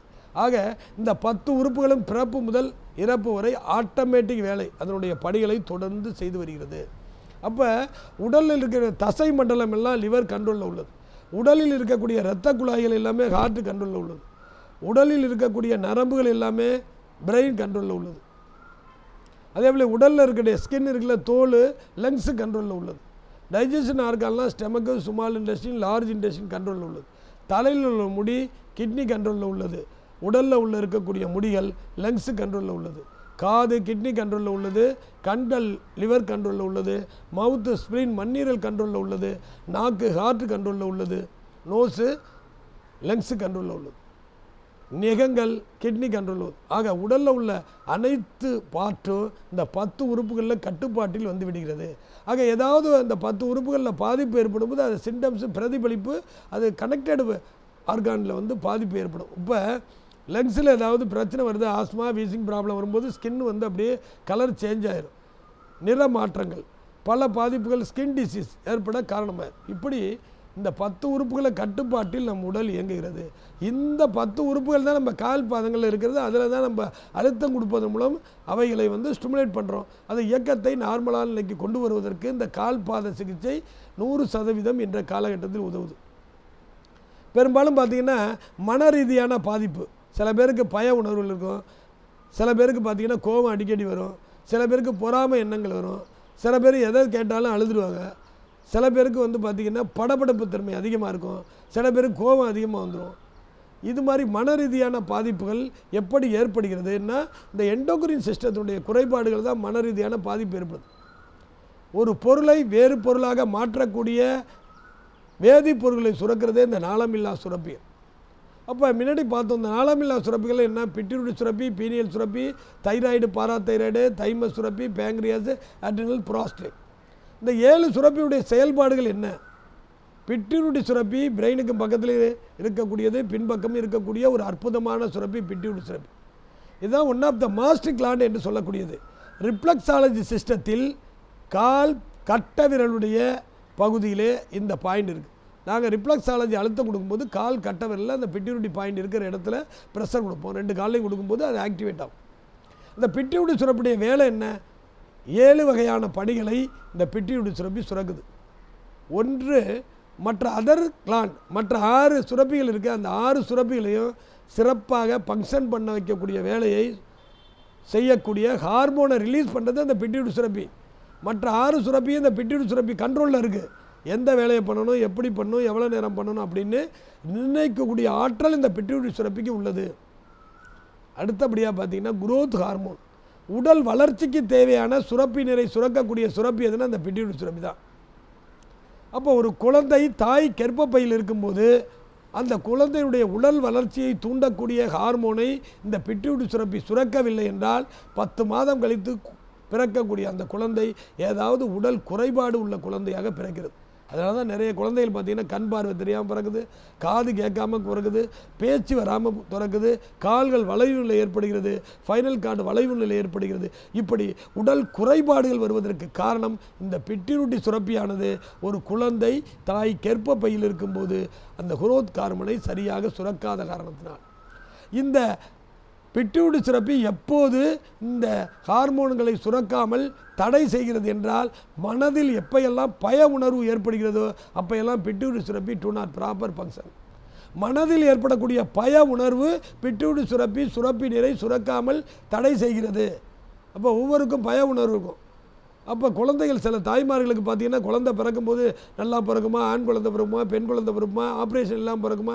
இப்படி மனதில் ஏற்படக்கூடிய பயத்தின் காரணமாக சில நேரங்களில் இந்த பிட்யூட்டி சுரப்பி இந்த சுரப்பி நீரை உரோத் ஹார்மோனை சுரக்காதத்தினால் அந்த குறைபாடு ஏற்படுகிறது. அதே போல் நம்ம ஹைட்டை வந்து இன்க்ரீஸ் பண்ணுறதுக்கு டுவெண்ட்டி ஒன் ஏஜ் வரைக்கும் இந்த பிட்யூட்டி சுரப்பி அந்த குரோத் ஹார்மோனை சுரக்கக்கூடிய அற்புதமான சுரப்பி. நாங்கள் என்ன பண்ணுவோம்னா அந்த பிட்யூட்டி பாயிண்டில் அழுத்தம் கொடுப்பது மூலம் ஓரளவுக்கு ஹைட்டை இன்க்ரீஸ் பண்ணுறதுக்கும் நமக்கு உதவும். இந்த கால் பாத அழுத்த முறை சிகிச்சை.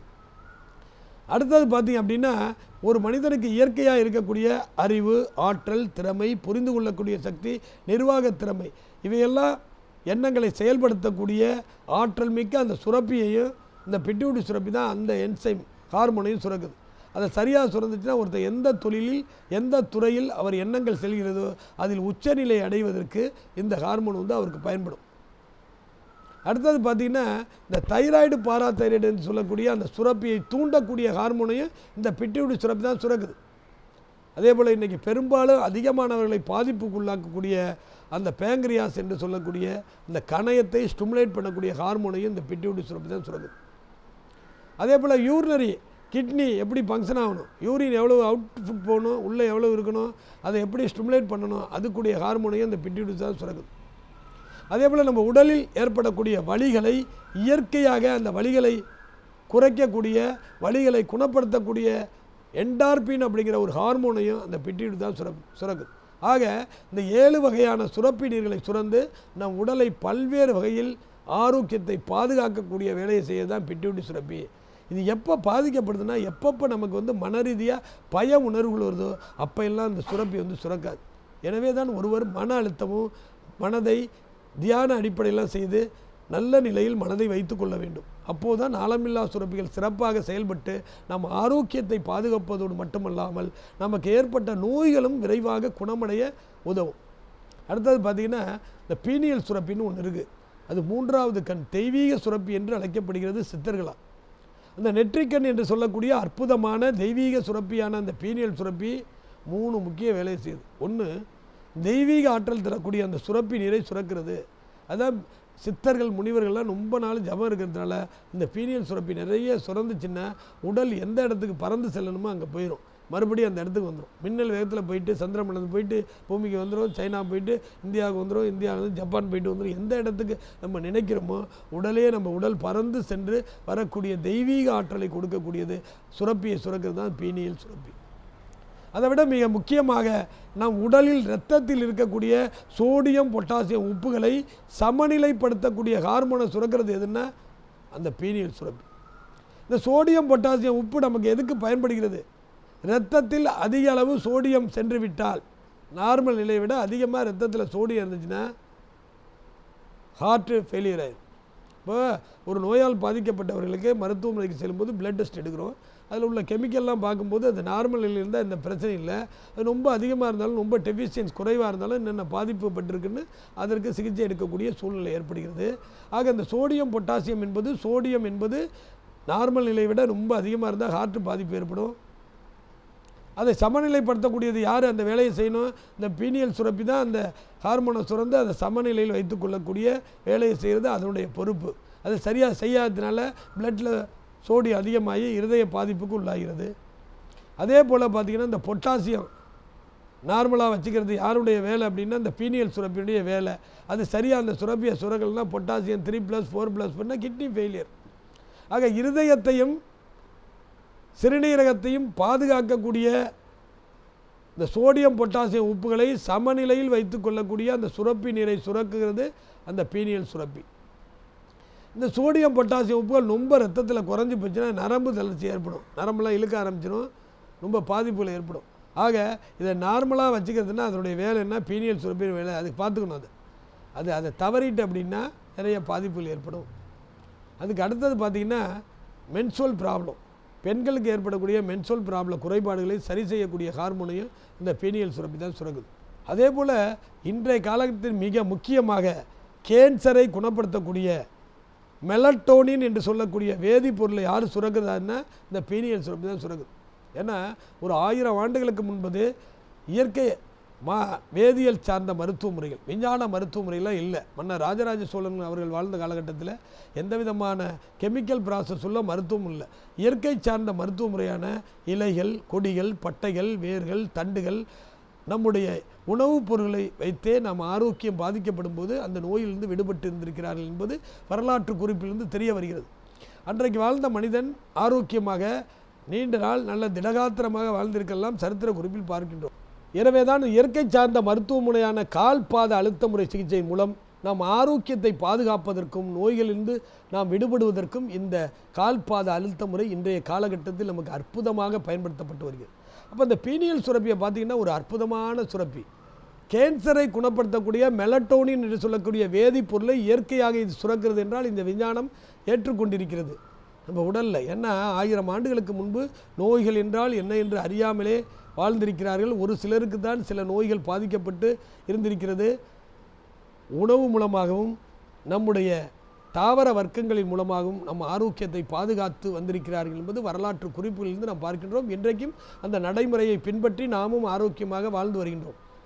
அந்த அடிப்படையில் இந்த பீனியல் சுரப்பி எப்போ தான் இந்த மெலட்டோனின் என்று சொல்லக்கூடிய வேதிப்பொருளை சுரக்குது அப்படின்னா இரவு நேரத்தில் மட்டுமே மெலட்டோனின் என்று சொல்லக்கூடிய வேதிப்பொருள் அந்த வேதிப்பொருள் ச கேன்சர் கிருமிகள் உடலில் தங்காதவாறும் கேன்சர் வந்தாலும் விரைவில் குணப்படுத்துவதற்கும் பயன்படுத்தக்கூடிய ஒரு அற்புதமான ஒரு மருந்தை சுரக்கிறது தான் அந்த பீனியல் சுரப்பு இது எப்போ சுரக்கும்? இரவு பத்து மணி முதல் விடிய காலை நான்கு மதிவிடை வரை நன்றாக தூக்கக்கூடிய டைம் நம்ம மனித சமுதாயம் இருட்டில் தூங்க வேண்டும். இருட்டில் தூங்கும்போது தான் இந்த வேதிப்பொருளை இந்த பீனியல் சுரப்பி சுரக்குது. இதான் இதனுடைய கான்செப்ட் பத்து மணியிலேருந்து இரவு நாலு மணி வரை நம்ம இருட்டில் தூங்கும்போது பார்வை நரம்பு வழியாக அந்த பீனியல் சுரப்பியுடைய சுரப்பி நீர் பார்வை நரம்பு மூலமாக வெளியில் வந்து நாம் உறங்கக்கூடிய இடம் இருட்டாக இருக்கிறதா என்று அப்படியே பார்க்கிறது. வெளிச்சமாக இருந்தால் அந்த மெலட்டோன் என்று சொல்லக்கூடிய வேதிப்பொருளை சுரப்பதை நிறுத்தி விடுகிறது. இருட்டாக இருந்தால் அந்த கேன்சரை குணப்படுத்தக்கூடிய கேன்சர் செல்கள் உடலில் இல்லாமல் அதை வெளியேற்றக்கூடிய மெலட்டானின் என்று சொல்லக்கூடிய வேதிப்பொருளை சுரக்கிறது. அதான் இதனுடைய முக்கியமான கான்செப்ட் ஆனால் இன்றைய காலகட்டத்தில் என்ன பெரும்பான்மை இடங்களிலே வெளிச்சங்களில் தான் உறங்கக்கூடிய சூழ்நிலை ஏற்பட்டிருக்கிறது. ஒரு கட்டாய சூழ்நிலை. அதற்கு என்னென்ன சின்ன குழந்தைகள் இருக்கக்கூடிய வீடுகளில் லைட்டை பயன்படுத்திட்டு தூங்குறாங்க. பெரிய தொழிற்சாலைகள் இருக்கிற இடத்துல வெளிச்சங்கள் இருக்கிறது அங்கே உறங்கக்கூடிய சூழ்நிலை ஏற்படுகிறது. இப்படிப்பட்ட சூழ்நிலையில் எப்படி நாம் ஆரோக்கியத்தை பாதுகாப்பது? நமக்கு நிறைய ரசாயன உணவு உர பொருள் கலந்த உணவுகளை அதிகமாக சாப்பிட்றோம். இன்றைக்கி நிறைய பேருக்கு பல்வேறு வகையான டைப் ஆஃப் கேன்சர் வருகிறது. ஒரு தடவை அந்த கேன்சர் வந்துவிட்டால் வாழ்நாள் முழுவதும் துன்பப்படக்கூடிய அவல நிலைக்கு உள்ளாகின்றோம். ஆக இயற்கையாக கேன்சரை குணப்படுத்தக்கூடிய கேன்சர் செல்கள் உடலில் தங்காதவாறு வெளியேற்றக்கூடிய மெலட்டோனின் என்று சொல்லக்கூடிய ஒரு வேதிப்பொருளை நம்முடைய உடலில் இருக்கக்கூடிய ஒரு சுரப்பி சுரக்கிறது என்றால் இது வியக்கத்தக்க ஒன்று. அந்த இயற்கைக்கு மாறாக நாம் செயல்படும் போது தான் பல துன்பங்களுக்கு ஆளாகின்றோம். ஆக இனியாவது வெளிச்சத்தில் தூங்கக்கூடியவர்கள் இருட்டில் வந்து கருப்பு துணியை நல்லா கண்ணில் கட்டிக்கிட்டு தூங்க. அப்போ அந்த வெளிச்சம் வந்து வெளியில் தெரியாது. அந்த சுரப்பு நீர் இயக்க இயற்கையாக சுரப்பதற்கு உதவும். இதை வந்து என்ன பண்ணுறாங்கன்னா மேலை நாடுகளில் இப்போது கடைபிடிக்கிறார்கள். ஏன்னா எங்கே பார்த்தாலும் ஒரே வெளிச்சங்கள் இரவு பகலுக்கு இணையாக வெளிச்சங்கள் இருக்கிறதுனால இந்த தூங்கக்கூடிய நேரத்தில் வெளிச்சம் உள்ள பகுதியில் தூங்கக்கூடியவர்கள் இந்த கருப்பு துணியை கட்டி தூங்குவதன் மூலம் அந்த சுரப்பி வெளியில் வரும்போது ஒரு இருள் ஆக காணப்படுவதால் அந்த மெலட்டோனின் என்று சொல்லக்கூடிய அந்த சுரப்பி நீர் இயற்கையாக சுரக்கும். ஏன்னா இந்த கேன்சர் அதிகமாக வந்து பரவிக்கொண்டே வருகிறது இன்றைக்கு. அதை இயற்கையாக கட்டுப்படுத்தக்கூடிய ஆற்றல் உள்ள சுரப்பி நமக்கு உதவுகிறது. ஆக இந்த பிட்டியுடைய சுரப்பி பாயிண்ட் பீனியல் சுரப்பி பாயிண்ட் நம்ம காலில் கட்ட விரல் பகுதியில் இருக்குது நாங்கள் ரிப்ளக்ஸாலஜி பண்ணும்போது இதெல்லாம் அழுத்தம் கொடுக்கறதுனால ஸ்டிமுலேட். ஒருத்தர் தூங்கிட்டு இருக்காரு. நாலு மணிக்கு வெளியில் போகணும். நம்ம அவசரமாக ஒரு ஃபங்க்ஷனுக்கு போகணும். ஒரு மூணு மணிக்கு படுத்து தூங்குறாரு. நாலு மணிக்கு நல்லா தூங்குறாரு. அப்போ நாலு மணிக்கு அவரை எழுப்புனா தான் வந்து தூக்கத்துலேருந்து வருவார். தூங்கட்டுன்னு விட்டோம்னா அவர் இஷ்டத்துக்கு அஞ்சு மணிக்கு எழுந்திருப்பார். அதே மாதிரி தான் நம்ம ஆர்கான்கள். அதாவது அதோடைய பணிகளை செய்ய வேண்டும் என்றால் அதை ஸ்டிமுலேட் பண்ணணும். அந்த சிஸ்டம் தான் வந்து இந்த கால் பாத அழுத்த முறை சிகிச்சை. ஒரு உறுப்பு இருக்குது அதுக்கு ஸ்டிமுலேட் பண்ணும்போது ஓ நம்ம வேலையை நம்ம செய்யணும். ஒன்று அது ஸ்டிமுலேட் ஆகும். இந்த அடிப்படையில் தான் இந்த சிஸ்டம் வந்து ஃபங்க்ஷன் ஆகுது. அதே போல் பார்த்தீங்கன்னா தைராய்டு பாராதைராய்டு அற்புத அற்புதமான ஒரு சுரப்பி வந்து நம்ம த்ரோட்டு உள்ளே இருக்கிறது தைராய்டு வெளியில் இருக்கிறது பாராதைராய்டு சில பேருக்கு அந்த கட்டிகள் வந்து வெளியில் வந்துடும் சில பேருக்கு உள்ளே இருக்கும். எதுவும் முழுங்க முடியாது த்ரோட்டில் வலி இருக்கும் இன்ஃபெக்ஷன் ஏற்படும். இன்றைக்கு பெரும்பாலான பெண்கள் அதிகமாக இந்த தைராய்டு பிரச்சனையால் பாதிக்கப்படுகிறார்கள். மகளிர் தைராய்டு பிரச்சனையால் பாதிக்கப்படுவதால் குழந்தை பாக்கியம் இல்லாமை மென்சுவல் ப்ராப்ளம் அதே மாதிரி கற்ப இது நீ கருமுட்டைகள் சிதைவு ஏற்படுதல். இப்படி பல்வேறு பாதிப்புகள் ஏற்படுது. நிறைய மென்சஸ் பெல்லில் நிறைய பேருக்கு வலி ஏற்படும். அதிக இரத்தப்போக்கு. மென்சஸ் வந்து விட்டு விட்டு போகிறது ரெண்டு மாதத்துக்கு மூணு மாதத்துக்கு நாலு மாதத்துக்கு ஒரு தடவை வர்றது. அதே மாதிரி யூட்ரஸ் ஓவரிஸில் கட்டிகள் வர்றது. கருமுட்டைகள் சிதைவு ஏற்படுகிறது. ஏன்னா அந்த தைராய்டு ப்ராப்பராக ஃபங்க்ஷன் ஆகணும்னா மகளிருக்கு அதிகமான பாதிப்புகள் ஏற்படுகிறது. நிறைய பேருக்கு பார்த்தீங்கன்னா முடி கொட்டுதல் களைப்பு உடலில் களைப்பு உடல் பருமன். ஜாயிண்ட்டு ஜாயிண்ட் வலி உடல் சோர்வு இப்படி பல்வேறு வகையான பாதிப்புகளை உள்ளாக்க காரணமாக இருக்கிறது இந்த தைராய்டு சுரப்பினுடைய குறைபாடு. இதை எப்படி சரி செய்வது? ஒரு உடலானது நாற்பது ஆண்டு காலம் நல்ல ஆரோக்கியமாக இருக்கும். நாற்பது வயசுக்கு மேலே ஒவ்வொரு வியாதிகள் வருது. ஏன் நாற்பது வயசு மேலே நல்லா ஃபங்க்ஷனான நம்ம உடல் நாற்பத்தி ஒரு வயசு ஐம்பது வயசுக்கு மேலே ஏன் அது இயக்க நிலையில் மாறுபாடு ஏற்படுகிறது? அந்த நோய்களிலிருந்து போராடி அந்த நோய்களை வெளிப்படுத்தக்கூடிய ஆற்றல் ஏன் நம்ம உடலுக்கு குறையுது இதை சிந்திச்சோம்னா நிறைய விஷயங்கள் நமக்கு புலப்படும். ஆக இந்த தைராய்டு கிளானுடைய முக்கியமான ஃபங்க்ஷன் என்ன?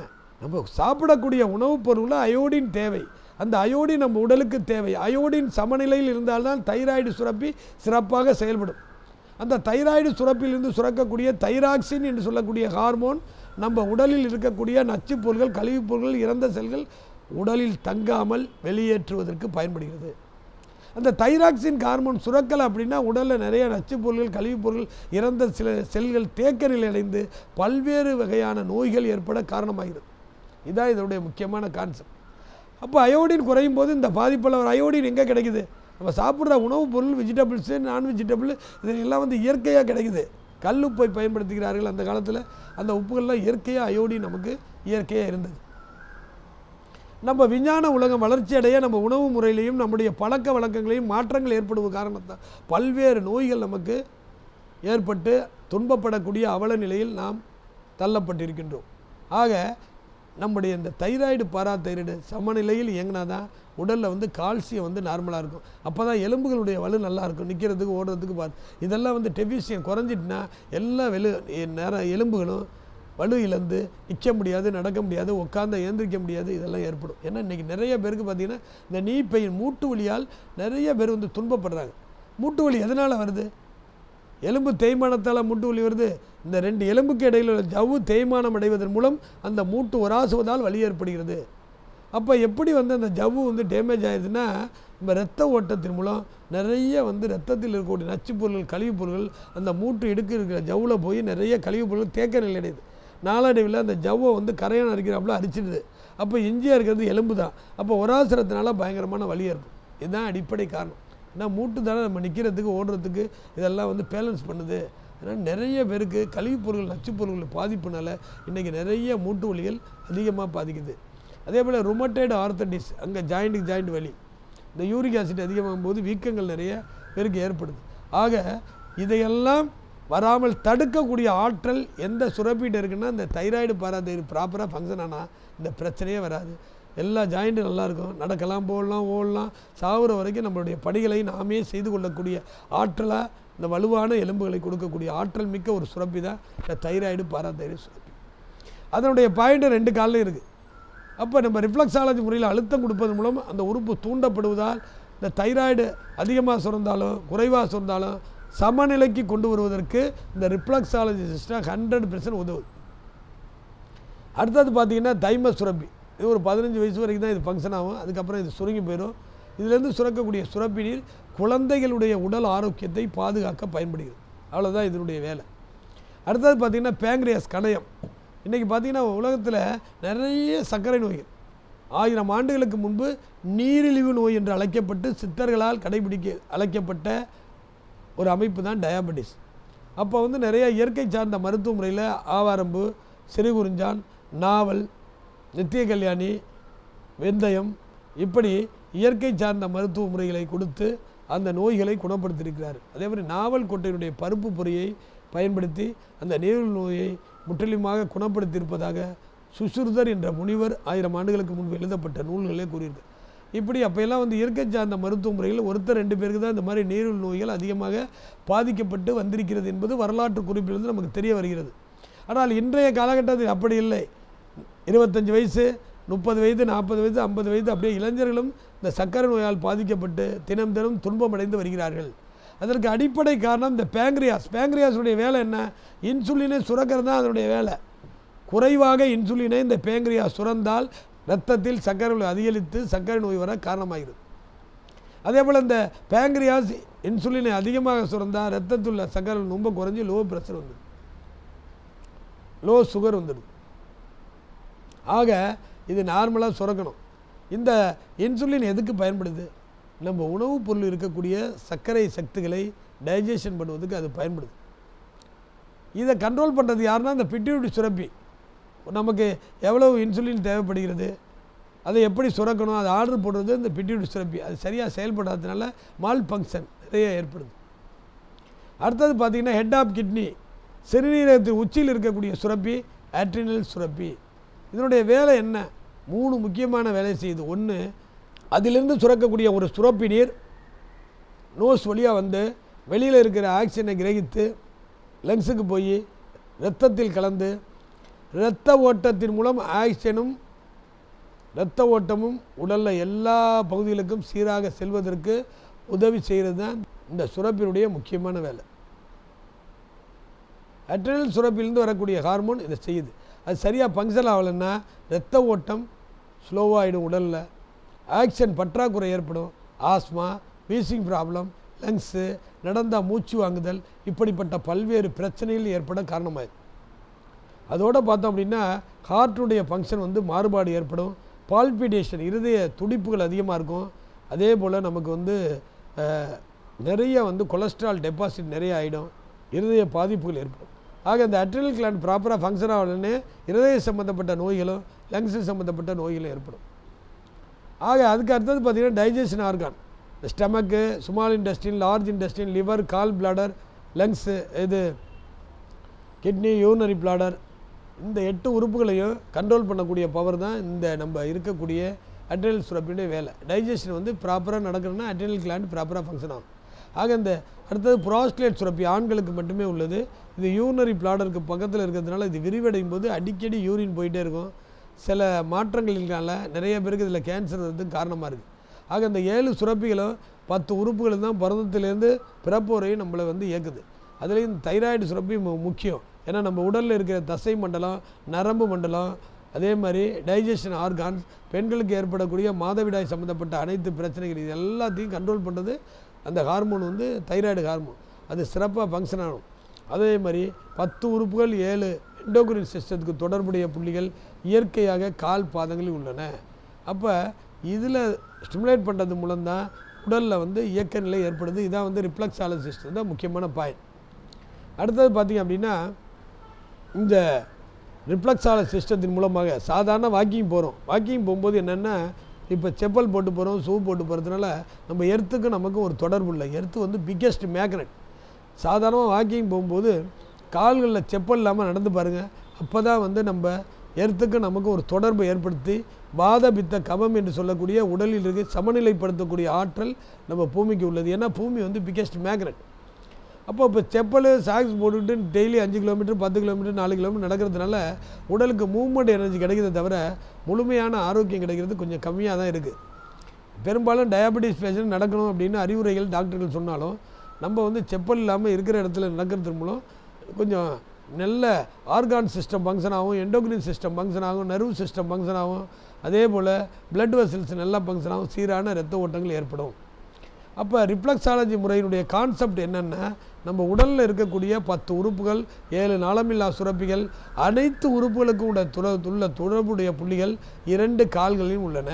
இப்போ நாங்கள் என்ன செய்கிறோம்னா கால் பாதங்களில் நம்ம உடல் உறுப்புகளுக்கு தொடர்புடைய புள்ளிகள் கரெக்டாக எந்தெந்த இடத்துல இருக்குது எண்டோக்ரைன் கிளான் பாயிண்ட் எந்தெந்த இடத்துல இருக்குது இதையெல்லாம் பார்த்து அந்த இடங்களுக்கு தக்கவாறு நோயினுடைய தன்மை நோயால் பாதிக்கப்பட்டவருடைய உடல்நிலை இதெல்லாம் பார்த்து காலில் வந்து அழுத்தம் கொடுப்போம். அழுத்தம் கொடுக்கறது மூலம் நம்ம உடலில் முன்னாடி சொன்னது மாதிரி சீரான இரத்த ஓட்டம் ஏற்படும்.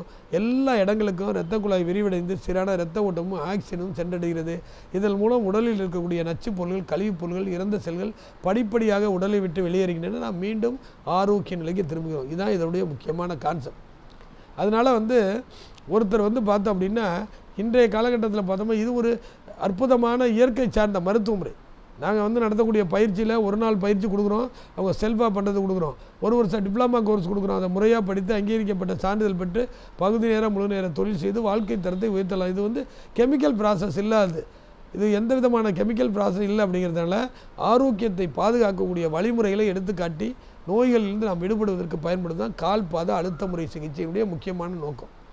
இதில் வந்து நோய்க்குறி அறிய முடியுமா? இன்றைக்கி பார்த்தீங்கன்னா நிறைய பேருக்கு என்ன நோய் வந்திருக்கு அப்படின்னு கண்டுபிடிக்கிறதே டயக்னோஸ் சிஸ்டம் அதில் வந்து மாடர்ன் மெடிசன் பண்ணோம் பிளட் டெஸ்ட் பண்ணுறாங்க ஸ்கேன் பண்ணுறாங்க இதெல்லாம் பண்ணி தான் என்ன நோயின்னு பார்க்குறாங்க.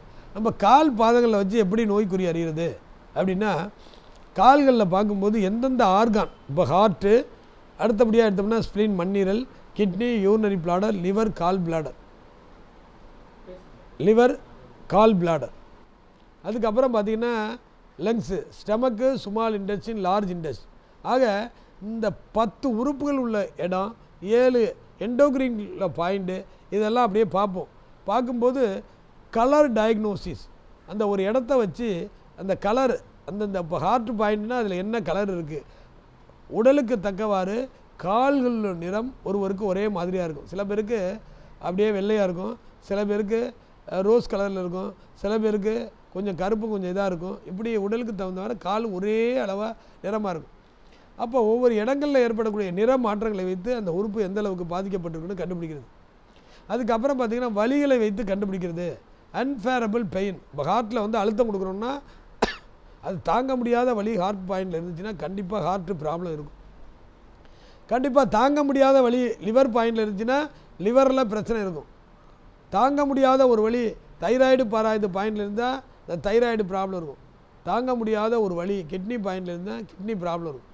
அப்போ வழிகளை வைத்து அந்த எந்த உறுப்பு பாதிக்கப்படுதுன்னு டயக்னோஸ் பண்ணுறதுக்கு இது அற்புதமாக பயன்படும். இப்போ ஆரம்ப நிலையிலேயே சிகிச்சை எடுத்து நம்ம வந்து உடலை பாதுகாத்து கொள்ளலாம். அப்போ நிறைய பேர் பார்த்திங்கன்னா உடல் வந்து அஞ்சு சதவீதம் பாதிக்கப்படும் போது யாரும் முறையாக சிகிச்சை எடுக்கிறது இல்லை கடைசியாக வந்து தொண்ணூறு சதவீதம் வந்து அந்த ஆர்கான் பாதிக்கப்படும் போது தான் எப்படியாவது நம்ம உடலை நோயிலிருந்து குணப்படுத்தி ஆரோக்கியமாக வாழ வேண்டும் சிகிச்சை முறைகளை தீவிரப்படுத்துகிறார். இதுதான் நம்மள்கிட்ட இருக்கிறது. அதனால் எந்த பாதிப்பு வந்தாலும் ஆரம்ப நிலையிலே எளிமையாக சிகிச்சை முறையை மேற்கொள்வதன் மூலம் நாம் அந்த நோயிலிருந்து விடுபட்டு ஆரோக்கியமாக வாழலாம். சரிங்களா? இந்த ரிப்ளக்ஸாலஜி முறையில் பார்த்திங்கன்னா நம்ம ten organ seven endocrine gland இதனுடைய செயல்பாடுகளை பற்றி பார்த்தோம். ஏன்னா நம்ம பிறந்ததுலேருந்து இறப்பு வரைக்கும் நம்மளுடைய உடல்கள் எல்லாம் ஆட்டோமேட்டிக்காக நம்மளை பாதுகாப்பதற்காக தான் நம்முடைய உள் உறுப்புகள் வேலை செய்கிறது. அதே போல் எண்டோக்ரின் சிஸ்டம் வேலை செய்கிறது. ஆக அந்த இயற்கைக்கு மாறாக நாம் செயல்படும் போது உடல் ரீதியாகவும் மன ரீதியாகவும் பாதிப்புகள் நமக்கு ஏற்படுகிறது. ஆக நம்முடைய உடலுடைய தத்துவங்களை அறிந்து கொள்வதன் மூலம் நாம் எதிர்காலத்தில் இன்றைய நாம் வாழுகின்ற காலகட்டத்திலும் நம்முடைய எதிர்கால ஜெனரேஷனும் ஆரோக்கியமாக வாழ்வதற்கு இந்த கால் பாத சவுச்சை நமக்கு அற்புதமாக பயன்படும். ஒவ்வொருவரும் நம் உடலை பற்றி தெரிந்து கொள்ள வேண்டும். உடலுடைய இயக்கங்களை பற்றி தெரிந்து கொள்ள வேண்டும். இயற்கை சார்ந்த மருத்துவ முறைகளை பற்றி தெரிந்து கொள்ள வேண்டும். நம் முன்னோர்கள் கடைபிடிக்கப்பட்ட அந்த பழக்க வழக்கங்களை பற்றி தெரிந்து கொள்ள வேண்டும். அவைகளை முறையாக கடைபிடிப்பதன் மூலம் நாம் ஆரோக்கியமாக வாழலாம். இதான் அந்த முக்கியமான கான்செப்ட் ஏன்னா ஒரு நோய் வரும்போது நோயால் பாதிக்கப்பட்டவர் மட்டும் துன்பப்படுவதில்லை. அந்த குடும்பமே துன்பப்படுகிறது. ஒரு குடும்பத்தில் ஒருவருக்கு கேன்சர் வருகிறது என்றால் அந்த குடும்பத்தில் இருக்கக்கூடிய அவருடைய உறவினர்கள் தாய் தந்தை அவருடைய மகன் உடைய மனைவி இப்படி பல்வேறு வகையில் பாதிக்கப்படுகிறார்கள். ஒரு மனைவிக்கு ஏற்படும்போது கணவன் பாதிக்கப்படுகிறார் குழந்தைகள் மன ரீதியாக பாதிக்கப்படுகிறது. இப்படி ஒரு நோய் ஏற்படும் போது அவரை மட்டுமல்லாமல் அவர் சார்ந்தவர்களுமே துன்பப்படக்கூடிய அவல நிலை ஏற்படுகிறது. அப்போ இயற்கையாகவே அந்த நோய்களை குணப்படுத்தக்கூடிய ஆற்றல் மிக்க நம் உடல் செயல்பாடுகளை நாம் தக்க வைத்து கொள்ள வேண்டும். ஆக நம் உடலை பற்றி அறிந்து கொள்ள வேண்டும். உடல் இயக்கங்களை பற்றி அறிந்து கொள்ள வேண்டும். எண்டோக்ரின் சிஸ்டங்களை அறிந்து கொள்ள வேண்டும். இருபத்தி நாலு மணி நேரத்தில் நம் ஆரோக்கியத்தை பாதுகாப்பதற்காக ஒவ்வொருவரும் இருபது இருபது நிமிடம் ஒதுக்க வேண்டும். நம் ஆரோக்கியத்தை பாதுகாப்பதற்காக இருபத்தி நாலு மணி நேரத்தில் இருபது நிமிடம் ஒவ்வொருவரும் ஒதுக்கி முறையாக பயிற்சிகளையும் செய்து வருவதன் மூலம் நாம் ஆரோக்கியமாக வாழலாம். இதைதான் நாமும் கடைபிடிக்க வேண்டும். எதிர்கால சமூகமும் கடைபிடிக்கக்கூடிய வழிமுறைகளை நாம் உருவாக்கப்பட வேண்டும். ஆக இந்த கால் பாத அழுத்த முறை சிகிச்சை மூலம் நம் கால்களில் அழுத்தம் கொடுப்பதன் மூலம் உள்ளுறுப்புகள் அனைத்தும் தூண்டப்படுகின்றன. இரத்த குழாய்கள் விரிவடைந்து சீரான இரத்த ஓட்டம் உடலில் அனைத்து பகுதிகளுக்கும் செல்கிறது. அதன் மூலமாக உடலில் எந்தெந்த பகுதியில் நச்சுப்பொருள்கள் கழிவுப்பொருள்கள் இறந்த செல்கள் தேக்க நிலை அடைகிறதோ அவையெல்லாம் படிப்படியாக உடலை விட்டு வெளியேறுகின்றது. மீண்டும் உடல் ஆரோக்கிய நிலைக்கு திரும்புகிறது. நம்ம சொல்கிறது என்னென்னா உங்களுக்கு வந்து நோய் ஏற்பட அடிப்படை காரணம் என்னென்னா நம்ம உடலில் நச்சுப்பொருள்கள் கழிவுப்பொருள்கள் தேக்க நிலை தான்.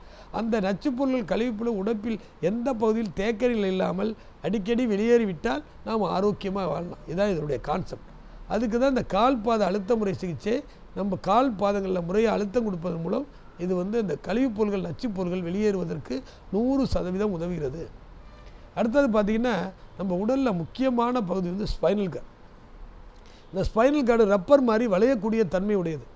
ஆக இதனால தான் நம்ம யோகா பயிற்சிகள் செய்யும்போதோ தியான பயிற்சிகள் செய்யும்போதோ வேறு எந்த பயிற்சி செய்தாலும் ஸ்பைனல் கார்டு அப்படியே வளைந்து கொடுக்கக்கூடிய தன்மை உடையது. அப்போ அந்த ஸ்பைனல் கார்டில் தான் நம்ம பிரெயின்லேருந்து முள்ளந்தண்டுலேருந்து கனெக்டட் உடையது ஸ்பைனல் கார்டு அந்த ஸ்பைனல் கார்டில் பார்த்திங்கன்னா இந்த உள்ளுறுப்புகள் தொடர்புடைய நெர்வ் சிஸ்டம் பிளட் வெல் சிஸ்டம்லாம் நிறைய கனெக்டடில் இருக்குது இதில் மொத்தமாக நாலு பகுதிகள் மிக முக்கியமானது.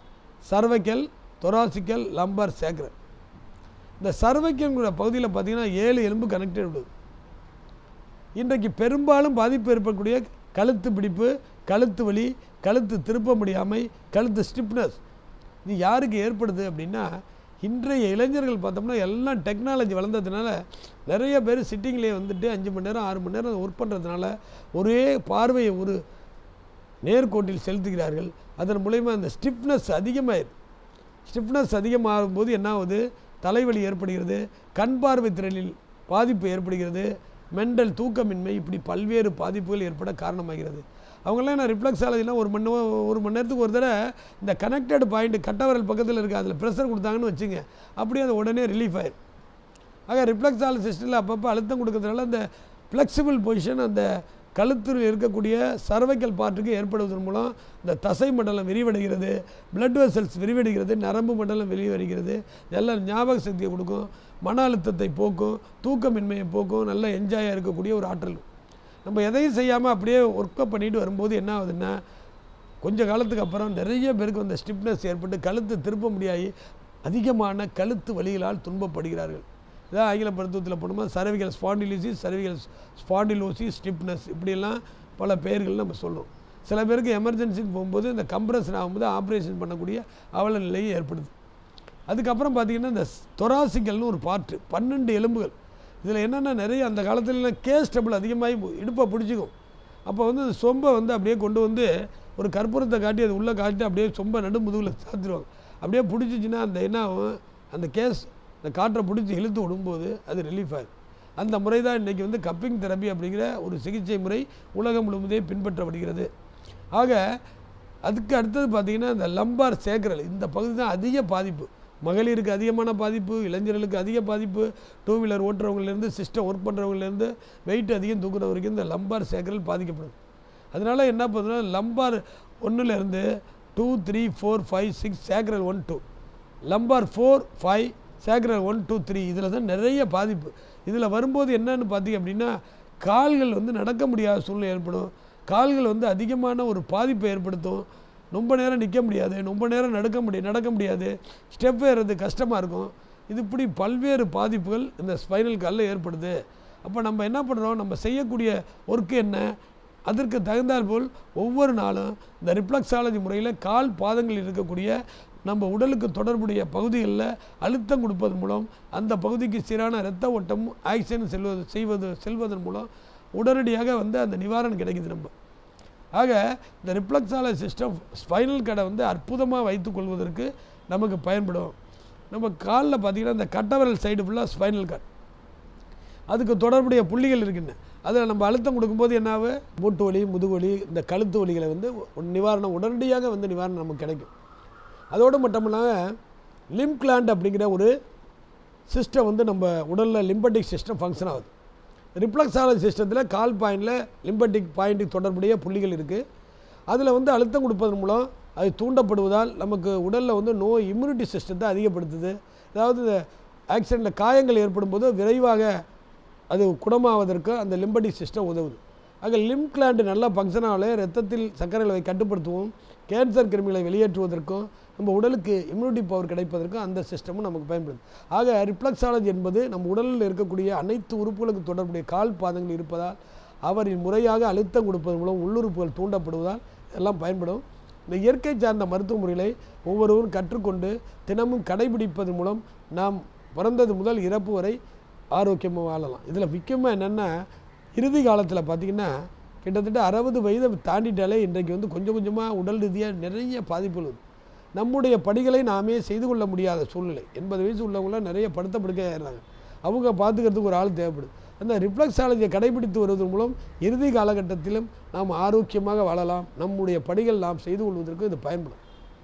இப்போ பார்த்தீங்க அப்படின்னா இந்த கைகள்லேயும் வந்து இந்த ரிஃப்ளெக்ஸாலஜி இருக்குது கால்கள்லையும் இருக்குது இந்த கைகளில் இருக்கக்கூடிய சின்ன சின்ன பிரச்சனை என்னென்னா இப்போ ஒருத்தர் வந்து போயிட்டே இருக்கீங்க ஸ்லிப்பாகி கீழே விழுந்துடும் கீழே விழுந்தோன்னே நம்மளால் வந்து ஏந்திரிக்க முடியாது. கீழே விழுந்துட்டோம் அப்படின்னா உடனடியாக பார்த்தீங்கன்னா இந்த இடத்துல பார்த்தீங்கன்னா இந்த ரிங் பிங்கர் வந்து இந்த காலுடைய கனெக்டட். இந்த ரிங் பிங்கரு இந்த காலுடைய கனெக்டடு இந்த ரிங் பிங்கர் இந்த காலுடைய கனெக்டட்.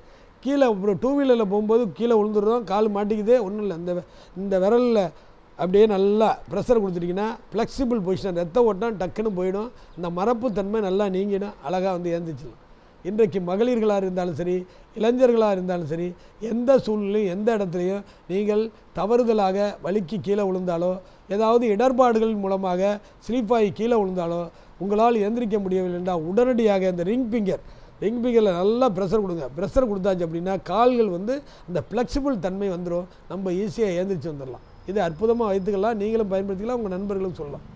ரெண்டாவது பாயிண்ட் எப்படின்னா மூட்டு வலி. இன்றைக்கி நிறைய மகளிருக்கு மூட்டு வலி. ஆர்வக் கோளாறு காரணமாக நிறைய கோயிலுக்கு போயிடுறாங்க.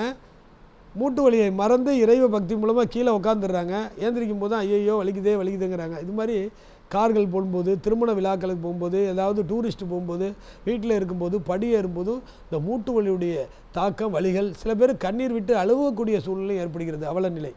அதுக்கு அற்புதமாக நம்ம உடலில் இருக்கிறது பார்த்திங்கன்னா எல்லாருக்குமே ரிங் பிங்கர் தெரியும். ரிங் பிங்கரில் இந்த மூட்டு. இந்த மூட்டு இந்த விரலில். ரைட் சைடில் மூட்டு வலி கடுமையாக இருந்தால் ரைட் சைடில் இந்த மூட்டில் அப்படி வச்சு அப்படியே உட்காந்துக்கிட்டு அப்படியே பாருங்கள் அப்படியே ப்ரெஷர் இது மாதிரி கொடுங்க.